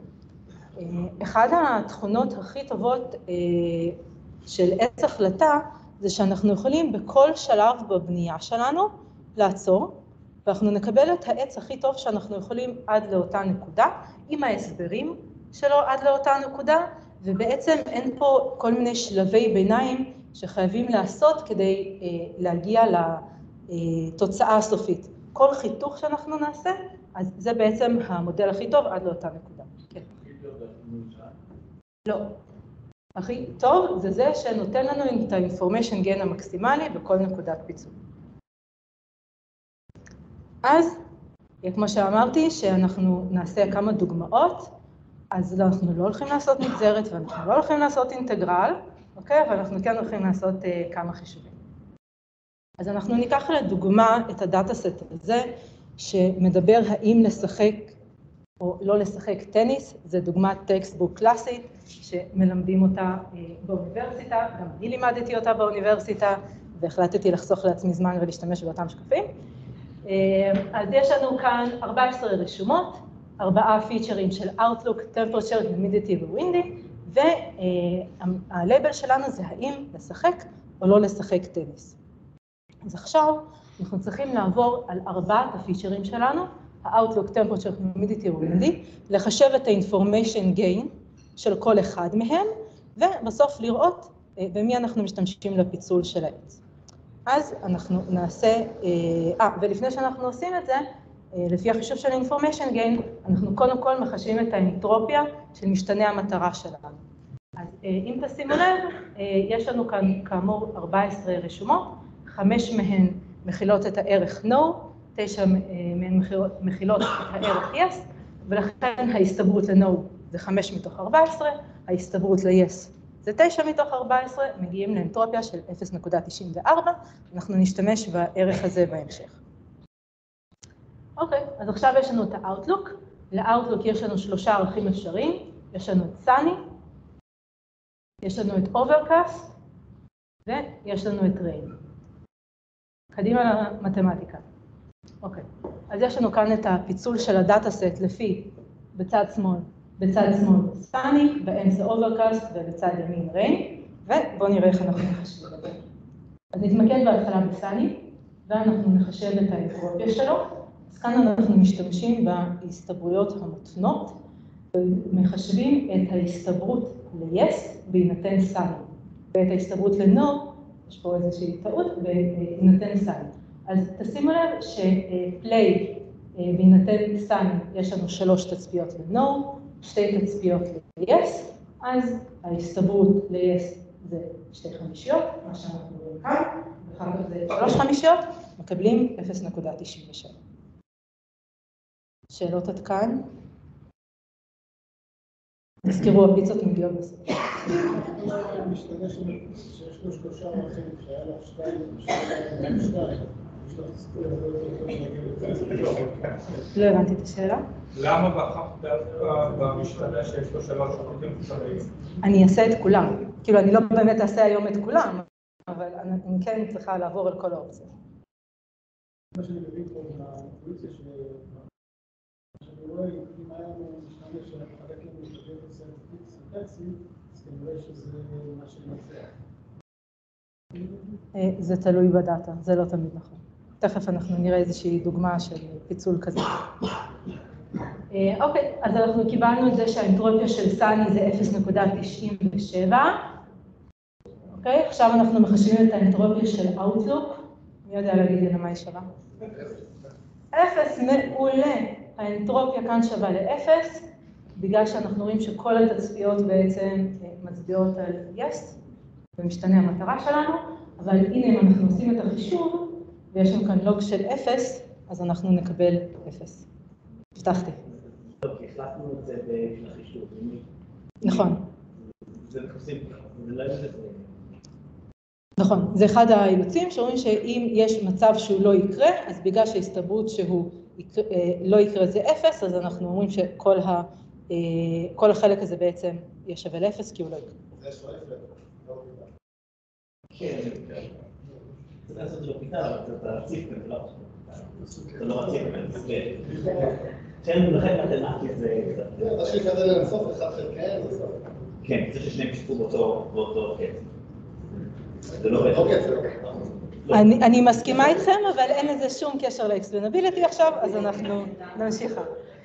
אה, אוקיי, ואנחנו מכסים את אותו חישוב גם עבור אה, Outlook שווה ריין, גם כאן אנחנו רואים שיש לנו פיצול של 3 ל-yes, 2 ל-no, אמרנו שזה אה, בעצם סימטרי, אז אנחנו רואים שגם כאן אנחנו מקבלים 0.97, ובשביל החישוב הסופי אנחנו צריכים בעצם את כל אחד מהחלקים השונים של האנטרופיה שקיבלנו כאן, להכפיל בהסתברות המשותפת, של בעצם אה, להגיע לערך הזה. אז ל-Sunny, אנחנו רואים שיש כאן 5 מתוך 14 תצפיות, מתוך כל הדאטה סט שלנו מכפילים את זה באנטרופיה שקיבלנו של 0.97, Overcast זה 4 מתוך 14 כפול 0, אה, וגם אה, את האנטרופיה של Rain מכפילים ב-5 חלקי 14, ואנחנו מגיעים אה, בעצם אה, לזה שה-information gain שלנו, אם אנחנו בוחרים לפצל אה, בשורש את העץ שלנו לפי Outlook, הוא 0.25. את הדבר הנפלא הזה אנחנו עושים לכל המשתנים. אנחנו לא נעשה את זה עכשיו כי אני חושבת שהעיקרון ברור וגם אה, אני לא חושבת שכולנו רוצים להישאר פה עד אמצע הלילה. אה, ובסוף אנחנו בוחרים את זה עם ה-information gain המקסימלי. אז במקרה הזה אנחנו בוחרים את Outlook להיות אה, בשורש שלנו של העץ, ובאמת הפיצול נראה ככה. אה, בשלב הבא אנחנו הולכים על כל אחד מהפיצולים של העץ שלנו, וממשיכים לעשות את החישובים שם. אז תחת סאני אנחנו עושים חישוב אה, לטמפרטורה, ללחות ולרוח, מגיעים אה, למסקנה שה-information gain של לחות הוא הכי טוב, הוא הכי גבוה, ואז אנחנו באמת מפצלים את המסלול הזה לפי הלחות. ב-Overcast אנחנו ראינו שאנחנו לא צריכים להמשיך אה, ולפצל, הכל בעצם מסווג ל-yes, אז כאן אנחנו כבר ניתן החלטה. ועבור הגשם, אז אה, גם אנחנו עושים את אותם החישובים לכל שאר ה-attributes ומפצלים לפי רוח, ובסוף מקבלים את העץ הנפלא הזה, אה, שהוא נורא נחמד וחמוד, ולא יודעת לי, חוץ מהאוניברסיטה, לא יצא אף פעם לבנות עץ כל כך יפה וקצר, אה, אבל עץ כזה לגמרי אפשר אה, להסביר אותו, ואנחנו תכף נראה אה, איך. אה, אבל מה קורה כאשר יש לנו משתנים שהם רציפים? כן. מה זה להסביר? זאת אומרת, את באה ואומרת, אם ככה אז ככה, אם ככה אז ככה, אם ככה, ככה אתה צריך לתת איזשהו היגיון עמוק יותר ללמה העץ אה, נוצר בצורה שהוא נוצר והתפצל בצורה שהוא התפצל. אז אני רוצה בסוף לתת באמת שני הסברים, אחד זה יהיה ברמת, ברמת הלוקל, לתת הסבר לתצפית בודדת, ואז אני באמת אסתכל על המסלול בעץ, והסבר אחר שאני רוצה לעשות זה הסבר ברמת הגלובל ולהסביר את הפיצ'רים שלי כמכלול, ותכף אנחנו נראה איך עושים את זה. אז במקרה הזה, שיש לנו פיצ'רים נומריים, אה, אז יצא אלגוריתם שהוא בעצם שיפור לאלגוריתם אה, ID3, אה, אלגוריתם C45, שבעצם אומר איך אנחנו צריכים אה, להתייחס לערכים שהם, אה, אה, סליחה, לפיצ'רים שהם נומריים.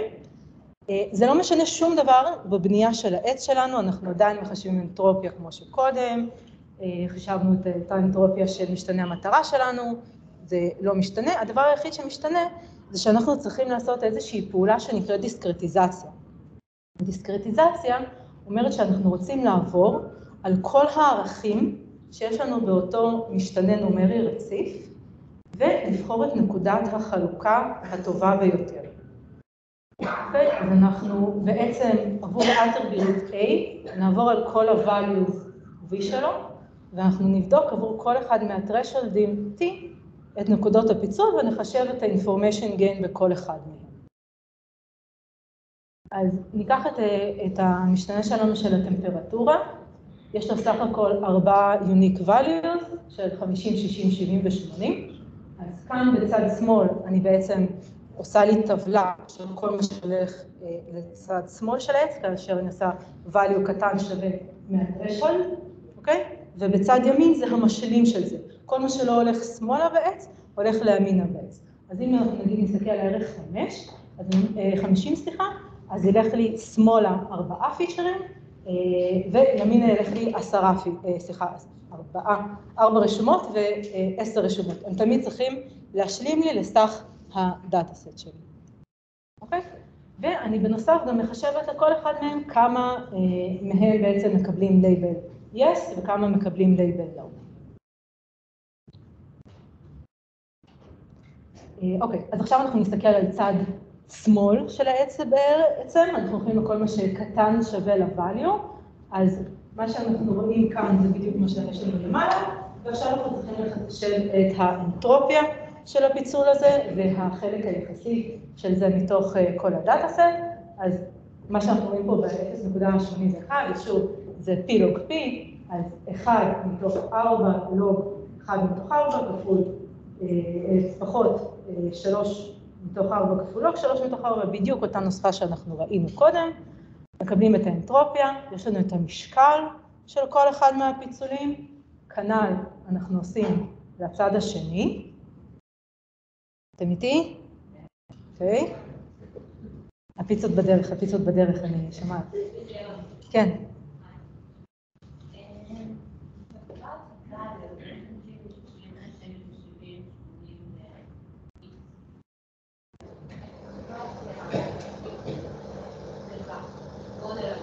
אני לוקחת את כל הערכים היוניק שיש. כי כאן, בעמודה של טמפרצ'ר היה לי רק 50, 60, 70 ו-80. אם היה לי פה אפילו ערך אחד של 55, הייתי מוסיפה אותו כטרשולד אופציונלי נוסף.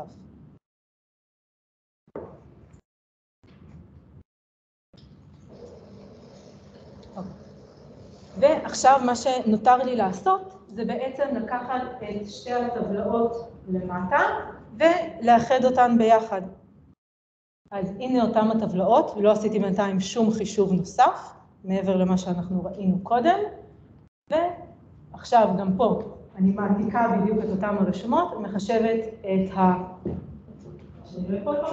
אני מחשבת את האנטרופיה הסופית, שזה פשוט לקחת כל חלק של האנטרופיה, להכפיל אותו במשקל שלו, ולקבל את האנטרופיה המשותפת שלהם, ובסוף כשאני מחשבת את ה-information gain, אני לוקחת את האנטרופיה של משתנה המטרה שלנו, 0.94, שחישבנו אותו כבר אה, די מזמן, ומקבלת את התוצאות האלה, ואני רואה שה-information gain המקסימלי מתקבל עבור את רשת 50, כלומר, אני אבחר לפצל את המשתנה הזה, את סליחה, את הפיצ'ר הזה של טמפרטורה בערך 50, כי הוא נותן לי את הגיין המקסימלי.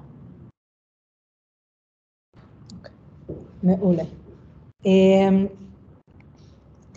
פיצ'ר, אה, שיטה נוספת אה, לפיצול, זה נקראת ג'יני אה, אינדקס, וכדי לבנות עץ החלטה, אנחנו משתמשים, אנחנו בונים את זה הכל בדיוק באותו אופן, כמו שאנחנו ראינו עם האנטרופיה, הדבר היחיד שמשתנה זה במקום להשתמש ב-P לוג P, אנחנו משתמשים ב-1 פחות אה, PI בריבוע. אוקיי, בעצם כל ההסתברויות, אנחנו מעלים אותן בריבוע וסוכמים, אה, במקום האנטרופיה. מלבד זה, הכל נשאר בדיוק אותו דבר. אנחנו גם ממשקלים כל אחד מהצדדים אה, ונותנים את ההסתברויות המותנות וכולי. ואם אנחנו רגע נשווה בין שתי השיטות האלה, אז אנחנו רואים שהערך המקסימלי של ג'יני מגיע לחצי, והערך המקסימלי של אנטרופיה מגיע לאחד, מה שאומר שמבחינה חישובית, במיוחד כי אנחנו גם משתמשים פה בלוג, אנטרופיה היא הרבה יותר כבדה מאשר אה, ג'יני, אה, ואם אנחנו בצד ימין רואים שאנחנו עושים קירוב שלהם אחת לשנייה, אנחנו פחות או יותר מקבלים את אותם הערכים. אה, יש כאלה שטוענים שלפעמים אנטרופיה יותר מדויקת, אה, יש כאלה שאומרים שלא, אה, בכל מקרה אתם מוזמנים לנסות את שתי השיטות. מה? נכון, זה נכון. ובעצם מי שרוצה שדברים ירוצו הרבה יותר מהר, אז בדרך כלל הוא בוחר בג'יני, זה גם הדיפולט, אגב, בכל האלגוריתמים של עצים בסייקטלרן, אתם יכולים להחליף ולבחור באנטרופי, אבל שתדעו שזה במובנה. אוקיי, אז זוכרים את העץ הנחמד שבנינו קודם, שאמרתי שבחיים אנחנו לא פוגשים עץ כזה בעולם האמיתי שלנו בעבודה? אז הנה אנחנו רואים שהעץ היפה הזה, אה, אפשר לפרש אותו באופן די אה, אינטואיטיבי למערכת חוקים.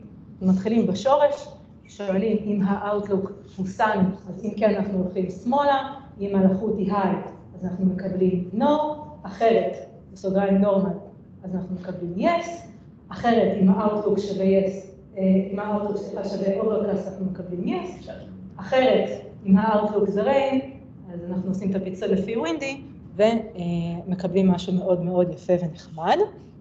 אבל כמו שאמרתי, בעולם האמיתי זה לא עובד ככה, ויש לנו כמות יותר גדולה של פיצ'רים. אז אה, אנחנו הולכים עכשיו אה, לדבר על ה dataset של אייריס. ואייריס, אני מניחה שכולכם גם מכירים את ה dataset הזה. אה, הוא גם בא כ default ב scikit-learn למי שרוצה או לא שמע על זה.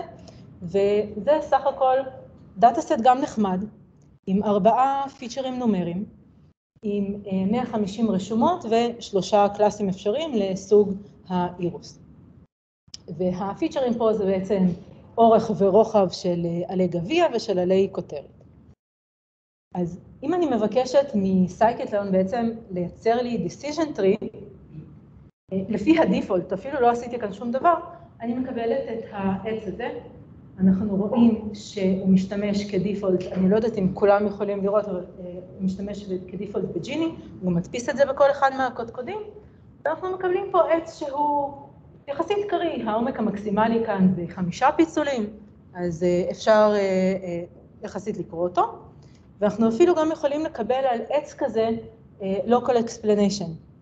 אם אנחנו ניקח את הרשומה הזאת שאנחנו רואים כאן בצד שמאל, ונריץ אותה על העץ, אז אנחנו יכולים לראות ממש כאן הסבר קטן מאוד, קצר, ה-petal width הוא קטן שווה מ-0.8, בדוגמה שלנו 0.1, ומקבלים שהקלאס שלו סטוזה, אל תשאלו אותי מה זה הסוג אירוסים.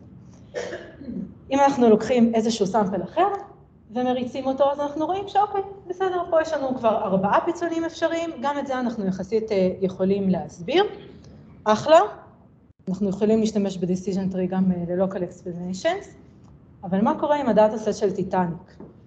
ב dataset של טיטניק, שזה גם בא, זה dataset שהוא מאוד מוכר, יש לנו עשרה פיצ'רים, 891 רשומות, ויש שני ערכים אפשריים ל class, שבגדול אומרים האם הנוסע שרד או לא.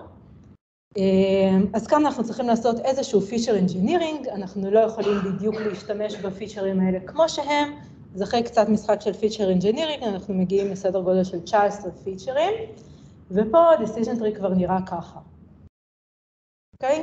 ואם אני רוצה לקבל local explanation, אז כאן למשל כבר יש לי, זה נורא קטן, אני יודעת שאתם לא רואים, כאן כבר יש לי 11 תנאים בחוק שלי.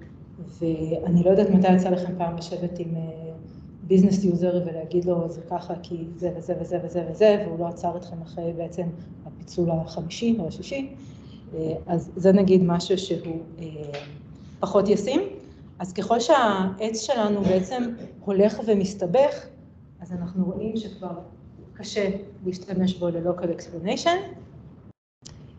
אז מה שאנחנו כן יכולים לעשות, בעץ החלטה, וזה העץ שאנחנו קיבלנו קודם בלי בעצם שום בקשות מיוחדות שביקשתי מסייקטלר, אז עכשיו אני נותנת כאן אילוץ, שוב כי אנחנו הולכים לעשות עוד חישובים, אז אני נותנת לו אילוץ של מקסימום דף שווה שלוש, ומקצרת את העץ, ואני רוצה בעצם לשאול אתכם איך אנחנו יודעים את התרומה של כל אחד מהפיצ'רים להחלטה הסופית שלנו מהעץ הזה.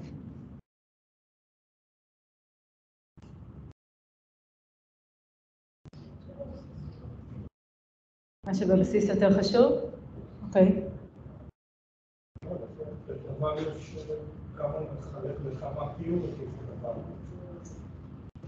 נכון, מה עוד? אז תשימו לב שלמשל, פטלנט מופיע בשלושה קודקודים. הוא נבחר לפיצול שלוש פעמים. האם כל אחד מהפיצולים פה נותן את אותו אימפורטנס, את אותו contribution? לא. אז מה אנחנו צריכים לעשות במקרה הזה? לחשב מה שעשינו עד עכשיו. אז אנחנו מקבלים את ה-feature importance כ-given intrinsic בתוך ה... כאשר אנחנו מחשבים את המודל, אתם תריצו אה, decision tree, תבקשו לקבל feature importances, זה כבר בא מובנה בתוך scikit-learn, ואתם תקבלו את המספרים האלה. או את הגרף הזה, אם אתם רוצים אה, לראות את זה ויזואלית קצת יותר יפה. אז אנחנו רואים שפטלנס מקבל ערך שהוא קצת פחות מ-0.6, פטלוויס מקבל משהו שהוא קצת יותר מ-0.4. אנחנו גם יכולים לבקש מסייקטרן את הערכים המדויקים, אבל אה, אנחנו לא נעשה את זה כי אנחנו אוהבים מספרים. אוקיי, אז איך אנחנו מחשבים את זה? אז אה, אנחנו מחשבים את זה לפי שיטה שנקראת mean decrease in impurity, או MDI. אז מה שאנחנו עושים בשיטה הזאת, בעצם יש לנו את קודקוד J, ואנחנו רוצים לחשב את האימפורטנס שלו בהינתן הפיצול שלו ל-left של J ול-right של J, ולשכלל את זה בכמות, אה, ב-weight של כל אחד מהקודקודים האלה, בעצם כמה סאמפלים אה, יש לנו אה, בכל אחד מהקודקודים האלה. תכף נראה דוגמה. ובסוף אנחנו צריכים לסכום עבור פיצ'ר מסוים את כל הפיצולים שלו בעץ. אז חוזרים לעץ הנחמד שלנו ועושים מתמטיקה. אוקיי, אז יש לנו כאן, בעצם אנחנו נמצאים בשורש, יש לנו כאן 150 מתוך 150 התצפיות שלנו, ואנחנו מכפילים את זה במדד האימפיוריטי שלנו, שבמקרה הזה זה ג'יני, הוא גם כתוב לנו בעץ, 0.667. עכשיו אנחנו צריכים להחסיר את האימפורטנס של הפיצול של כל אחד אה, מהצדדים שלו. אז בצד שמאל אנחנו רואים שיש לנו 50 סאמפלים עם ג'יני של 0, אז אנחנו כותבים 50 מתוך 150 כפול 0. בצד ימין אנחנו, יש לנו 100 סאמפלים מתוך 150 עם ג'יני של 0.5, ואנחנו מכפילים ב-100 ומחלקים ב-100 אה, כדי לקבל את האחוזים, מקבלים 0.33. דוגמה נוספת, ניקח את הקודקוד הבא, כאן אנחנו הגענו למצב שקודם כל אנחנו כאן נמצאים, יש לנו 100 סאמפלים, מתוך 150, אז זה מה שבעצם מתחיל לנו את החישוב של ה-Node Importance. בצד שמאל יש לנו 54 סאמפלים עם ג'יני של 0.168, בצד ימין יש לנו 46 סאמפלים עם ג'יני של 0.043, מקבלים 0.259, ממשיכים לעשות את זה גם לשאר הנודים, ובסוף אנחנו רוצים feature importance לקבל לקבל חלק יחסי, אז אנחנו מנרמלים, מנרמלים את זה בסכום כל ה-importances, מקבלים 0.627 שזה הסכום של כל ה-importances, ובעצם אנחנו אה, עכשיו רוצים אה, לחלק את זה ולקבל את ערך יחסי, אז אה, לפטלנט, כמו שאתם רואים, הוא מופיע כאן בשלושה מהקודקודים שלנו, אז אנחנו סוכמים את האימפורטנס שלהם, מחלקים בסך האימפורטנסס, מקבלים 0.58, עבור פטל וויס יש לנו רק אחד, אז אנחנו מקבלים 0.41, ורואים שהמתמטיקה עובדת עם מה שסייקט-לרן מחזיר לנו. אתם בסדר? כמה לקוחות עסקיים התחילו עם הסבר שתעשה ככה או ככה, מבלי איזשהו היגיון כביכול? אני מניח שמאקו מתעסק בבוטניקה היה יכול אולי אה, לתת לזה משהו אקסטרה מול אה, לקוח. זה ברור שאי אפשר ללמוד כל אישו אריה, אבל אה, אני מנסה ללמוד כאן הסבר ומה זה הסבר אז אתה יכול לתת לביזנס יוזר הסבר לפי פיצ'ר אימפורטנס, ובאמת לתת לו את, נגיד, ה top עשרה פיצ'רים הכי חשובים, שיוכל להסתכל עליהם ולבדוק האם יש, אה, האם לפיצ'רים האלה יש היגיון ב dataset שלו? האם, כמו הדוגמה שמאיה הציגה אה, קודם עם, ה, אה, עם הפרויקט ששם הרוב היה מארצות הברית, אז לא, זה לא היה הגיוני, ואם הוא היה רואה שה country ב top, אז הוא אומר, רגע, אני רוצה עכשיו להיכנס לאירופה, מה אכפת לי שה top זה ב-US? אז לגמרי אפשר להשתמש בזה ולתת לו את ההסברים. יש יוזרים שהם יותר אוהבים את המתמטיקה וממש את הערכים, יש את היוזרים שפשוט רוצים רשימה. אחד החסרונות בעצם בדבר הזה זה שזה בעצם רלטיבי אחד לשני, ואם יש לנו מודל אחר שאנחנו רוצים להריץ עליו feature importance ושם מתקבלים ערכים חסרים, אחרים, סליחה, אנחנו לא באמת יכולים להשוות ביניהם. בסדר? וקטונתי מלהבין בבוטניקה, זה ממש לא. עכשיו, עשינו בעצם עד עכשיו את כל החישובים האלה, והראיתי לכם את האימפורטנס של כל נוד, אבל אם היינו לוקחים בעצם את כל הפיצולים שאנחנו עשינו כאן בעץ, אנחנו רואים שבהתחלה בשורש אנחנו מפצלים את פטלנס לפי 2.45, אחר כך לפי 4.95 וכו' וכו', והיינו עושים דיסקרטיזציה, לפי התנאים האלה, זוכרים את הדיסקרטיזציה שכרגע דיברנו עליה, ומכניסים את זה כפיצ'רים למודל, אז אנחנו רואים כאן שהיינו בדיוק מקבלים את ה-node importance של כל אחד מהם ואת ה-feature importance. זה מוביל אותי לשיטה הבאה של ה-feature importance, שהיא בעצם ה-permutation feature importance. מה? כן.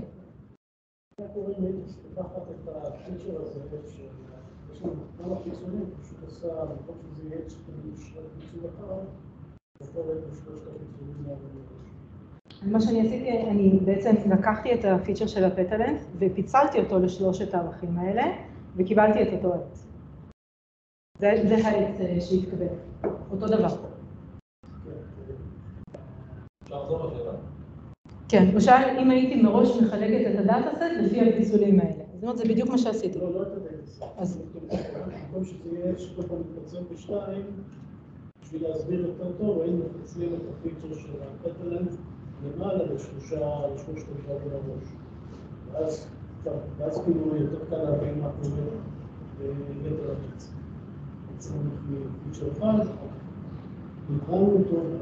כן, אז צריך לבדוק איך זה היה מתנהג, לא בדקתי את זה. שאלה פשוט קצת אחרת, כי היא שאלה למה האלגוריתם של עץ עובד ככה, ולא איך מסבירים אלגוריתם שלו.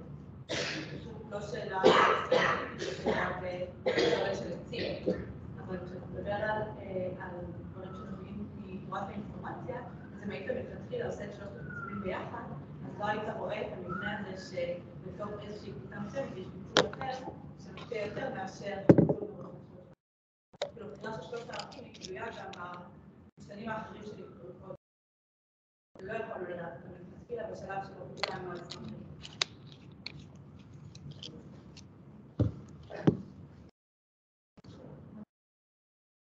כן, מה שאנחנו רואים כאן, בשונה מהשקף לפני, זה שאני בעצם לקחתי את.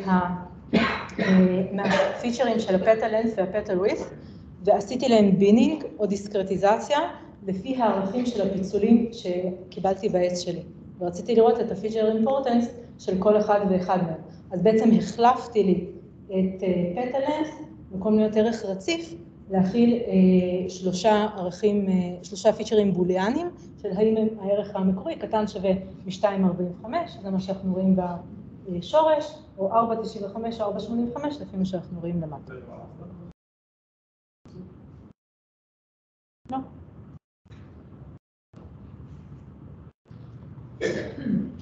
אה, אוקיי. אז אה, יש עוד שאלה? אוקיי. אז uh, permutation feature importance. אז אה, השיטה הזאת היא בעצם אה, שיטה גם אה, שנותנת לנו feature importance, אה, כאמור מהשם. השיטה הזאת גם נמצאת אה, ב scikit-learn, היא פשוט לא מובנית בתוך העצים, ואפשר אה, להשתמש בה כשיטה שהיא post-hoc על כל מודל שאתם בונים, כל עוד הדאטה שלכם הוא במבנה טבולרי. ומה שאנחנו עושים כאן, אנחנו בעצם לוקחים איזושהי, איזשהו פיצ'ר, ואנחנו עושים לו פרמוטציה, או במילים אחרות עושים לו shuffle, ורק לו. כל שאר הדאטה שלנו נשאר אותו דבר, שאר הפיצ'רים נשארים אותו דבר, הלייבל שלנו נשאר אותו דבר, אה, ומה שאנחנו אה, בעצם עושים, אנחנו בתקווה אה, מבטלים כל קשר בין אותו פיצ'ר למשתנה המטרה שלנו. ואז אנחנו...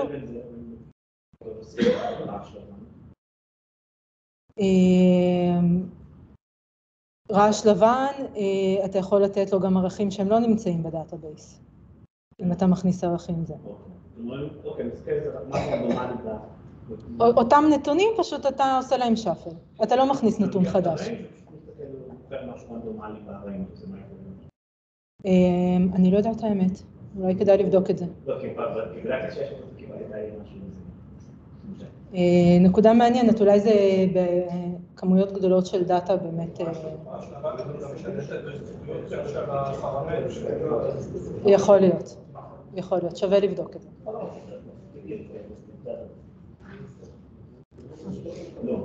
אז בואו...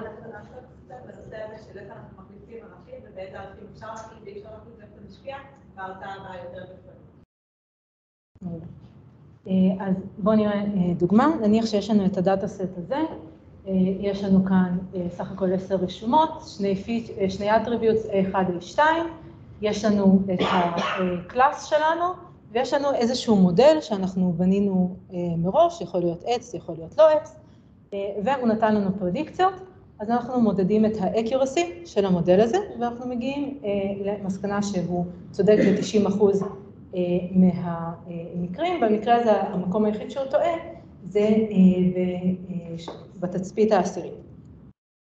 כדי לעשות פרמוטציה, נגיד אנחנו עושים פרמוטציה עבור attribute A2, אנחנו לוקחים בדיוק את אותם ערכים שהיו לנו קודם, ואנחנו עושים להם שפל. ועכשיו אנחנו לוקחים את אותו המודל שאנחנו אימנו קודם, מכניסים לתוכו את הדאטה הזה, ואנחנו מקבלים פרדיקציה חדשה. ועכשיו אנחנו מחשבים את ה-accuracy לפרדיקציה החדשה הזאת, ובמקרה הזה אנחנו רואים שאנחנו מקבלים accuracy של 30 אחוז, שנייה, כלומר אנחנו רואים שבעצם הפיצ'ר הזה תורם לנו ל-60 אחוז של ה-accuracy, שזה מספר אבסולוטי. לעומת מה שאנחנו ראינו קודם, וכמובן במקום accuracy יכולנו לבחור בכל מטריקה אחרת. כן? רצית לשאול? סבבה.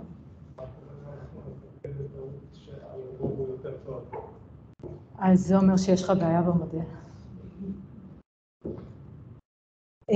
ואת זה כמובן מומלץ לעשות כמה פעמים, יש פה אפקט של רנדומנס, אז מאוד מומלץ להריץ את זה כמה פעמים, וגם את זה כמובן יש לכם ב scikit-learn, אתם יכולים להגדיר כמה פעמים אתם רוצים לעשות את ה shuffle הזה, וגם על איזה מטריקות אתם רוצים לבדוק את זה, הכל כבר נמצא בפנים.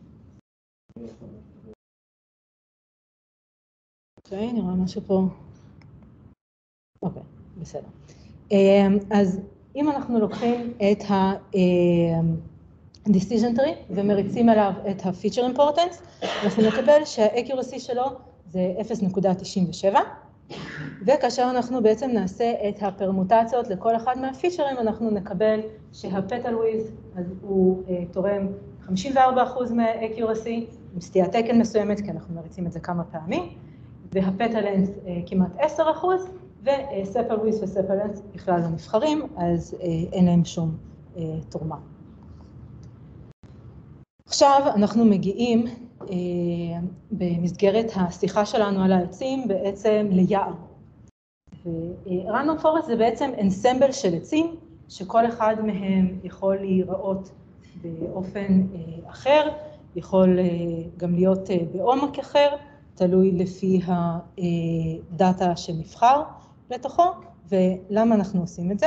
קודם כל, אם אנחנו נזכר, בגרף הזה שראינו מקודם, אנחנו רואים ש-random forest נמצא יחסית גבוה ל-decision tree, יש לו פרפורמנס הרבה יותר טוב, וזה לא מרחק מאוד מאוד גדול מ-decision tree מבחינת ההבנה ומבחינת ה-explainability, אז אנחנו גם נדבר על זה.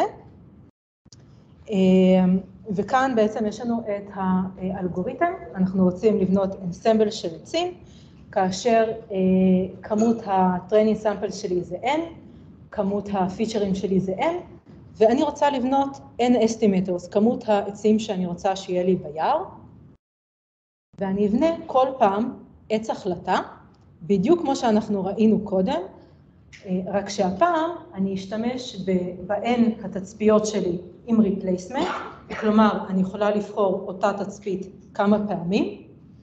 סטטיסטית זה אומר שיהיו סאמפלים שהם לא ייבחרו אף פעם בשביל ה training, והסאמפלים שלא ייבחרו אף פעם נקראים out of bag samples, אנחנו תכף נראה איך אנחנו משתמשים בהם. אה, סטטיסטית זה יוצא משהו כמו 30 אחוז מכל הסאמפלים, ובכל שלב בפיצול של העץ שלנו אנחנו בוחרים תת קבוצה מכל הפיצ'רים שלנו, בדרך כלל שורש ריבועי של מספר הפיצ'רים שיש לנו. בסדר? תהנהנו שאתם איתי. מעולה. אה, אז למה בעצם לעשות את זה? מה אנחנו מקבלים מזה שאנחנו בונים הרבה הרבה עצים, אה, שלאו דווקא תלויים אחד בשני? אז בגלל wisdom of the crowd. אה, הוכיחו שכאשר אנחנו דעה קולקטיבית של אינדיבידואלים שהם לא בהכרח קשורים אחד לשני, מיצוע התוצאות שלהם מקבל תוצאה הרבה יותר טובה מאשר של הפרט. ועשו ניסוי, לקחו אה, צנצנת של סוכריות, אה, ג'לי, וביקשו מאנשים שיגידו כמה סוכריות הם חושבים אה, שיש בצנצנת, בממוצע הם היו מאוד מאוד קרובים לתשובה האמיתית. אז עכשיו, השור לא היה קודם, אני לא יודעת מה היה קודם, עשו את שניהם. היה את השור והיה צריך לנחש את המשקל שלו. מה? יכול להיות, לא, אני לא רוצה להעליב את השור ולקרוא לו זקן. אה, אז עכשיו אנחנו נראה אה, איך נראה רנדום פורסט של סך הכל עשרה עצים, על הדוגמה שלנו של האייריס. אוקיי? זה כבר מתחיל להיראות ככה, וזה רק עשרה עצים, בדרך כלל משתמשים במספר הרבה יותר גדול של עצים, כאשר אנחנו בונים רנדום uh, פורסט.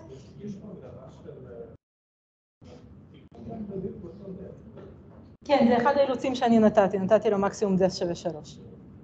רציתי שזה ייכנס לי יפה בשקף, ואחר כך אמרתי, טוב, עכשיו אני רוצה להראות לכם איך אנחנו עושים local explainability, כלומר, כמו שאנחנו ראינו קודם, שאני נותנת איזשהו סמפל, ואז אני צובעת בירוק את המסלול, ואז כשבאתי לעשות את זה, למרות שכתבתי קוד שעושה את כל הדברים האלה באופן אוטומטי, מה זה לא היה לי כוח?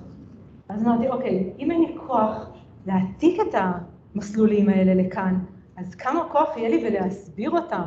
אז אתם רואים שבאמת ככל שאנחנו עולים בקומפלקסיטי, ההסברים נהיים הרבה יותר מסובכים. לכן, אה, ברנדום פורסט אנחנו אה, לא נשתמש אה, בשיטות של ה-local explainability, אלא רק ב-global explainability, אז איך אנחנו מחשבים feature importance ברנדום פורסט?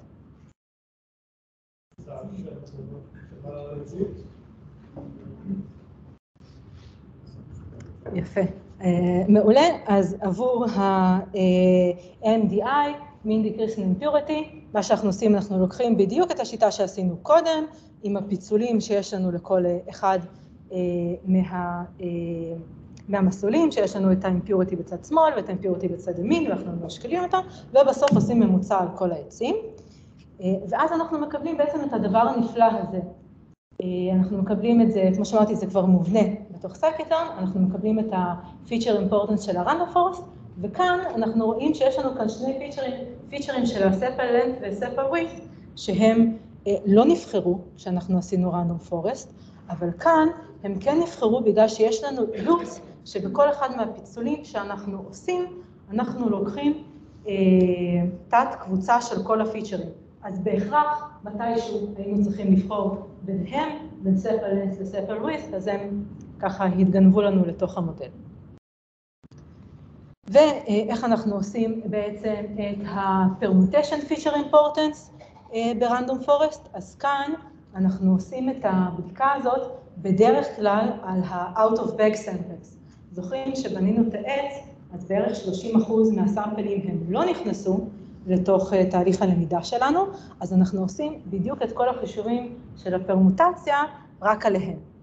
אז אם אנחנו נלך נגיד לדאטה סט הזה שלנו, ונניח ששלוש, שבע ועשר לא נבחרו בשום שלב לבנייה של המודל, אז אנחנו נעשה את הפרמוטציה, אנחנו חושבים כמובן את ה-accuracy רק על ה-out of back samples, מקבלים 66 אחוז במקרה הזה, אה, אז אנחנו ניקח עכשיו את attribute 1, ואנחנו עושים פרמוטציה או שפל רק ל, אה, לרשומות שבעצם נמצאות ב-out of back samples, כאן אנחנו מקבלים שה-accuracy יורד ל-33 אחוז, אז אנחנו בעצם רואים שהתרומה של האחד זה 33 אחוז, וכאשר אנחנו אה, מחשבים את המודל accuracy לפני ואחרי, אנחנו מקבלים את הדבר הנפלא הזה.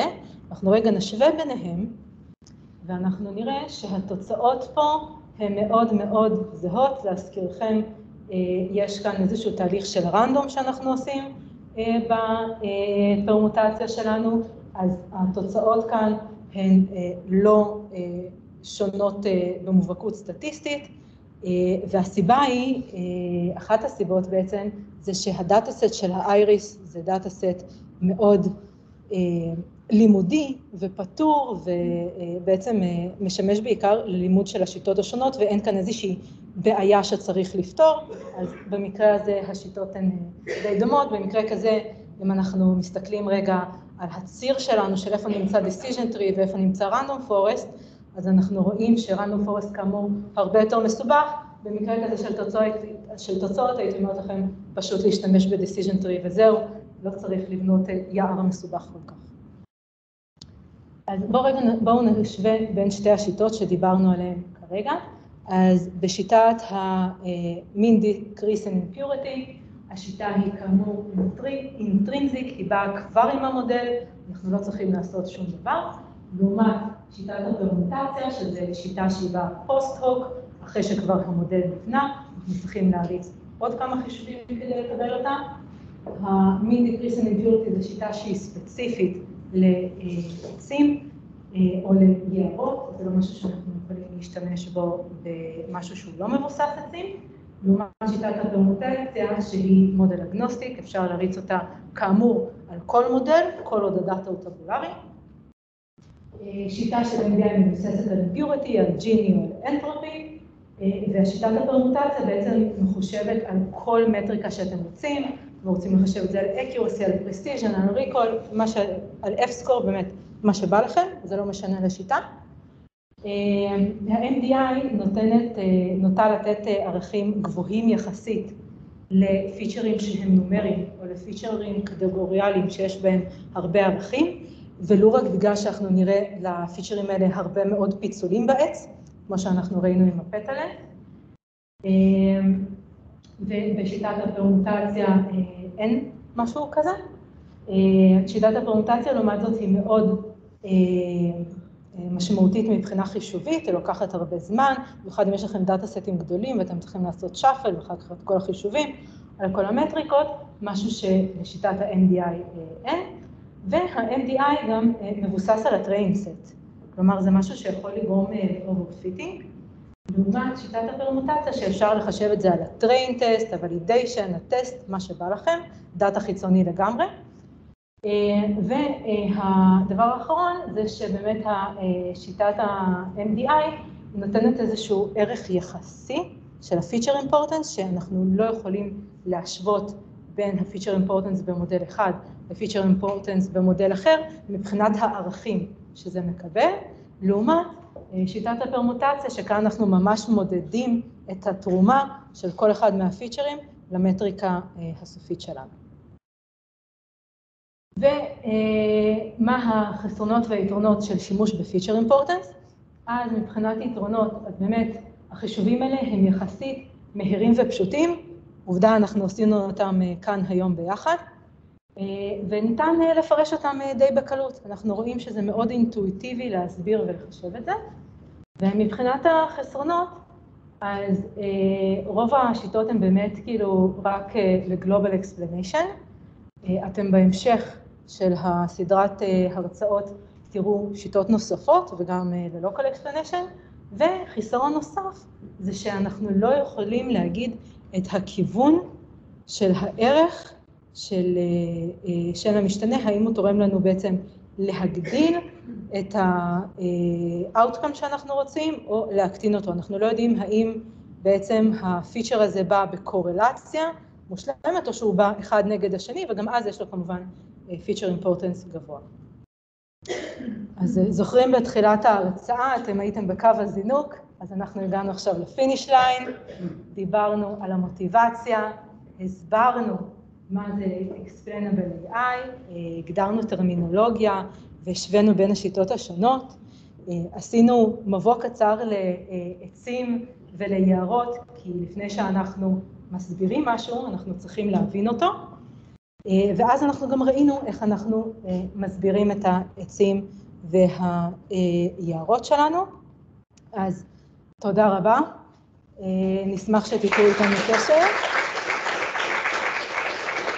תודה, ותודה מיוחדת לבתיה יסמין, Data Nights, באות ומייקרוסופט שעזרו לנו להיות כאן היום. תודה, כן.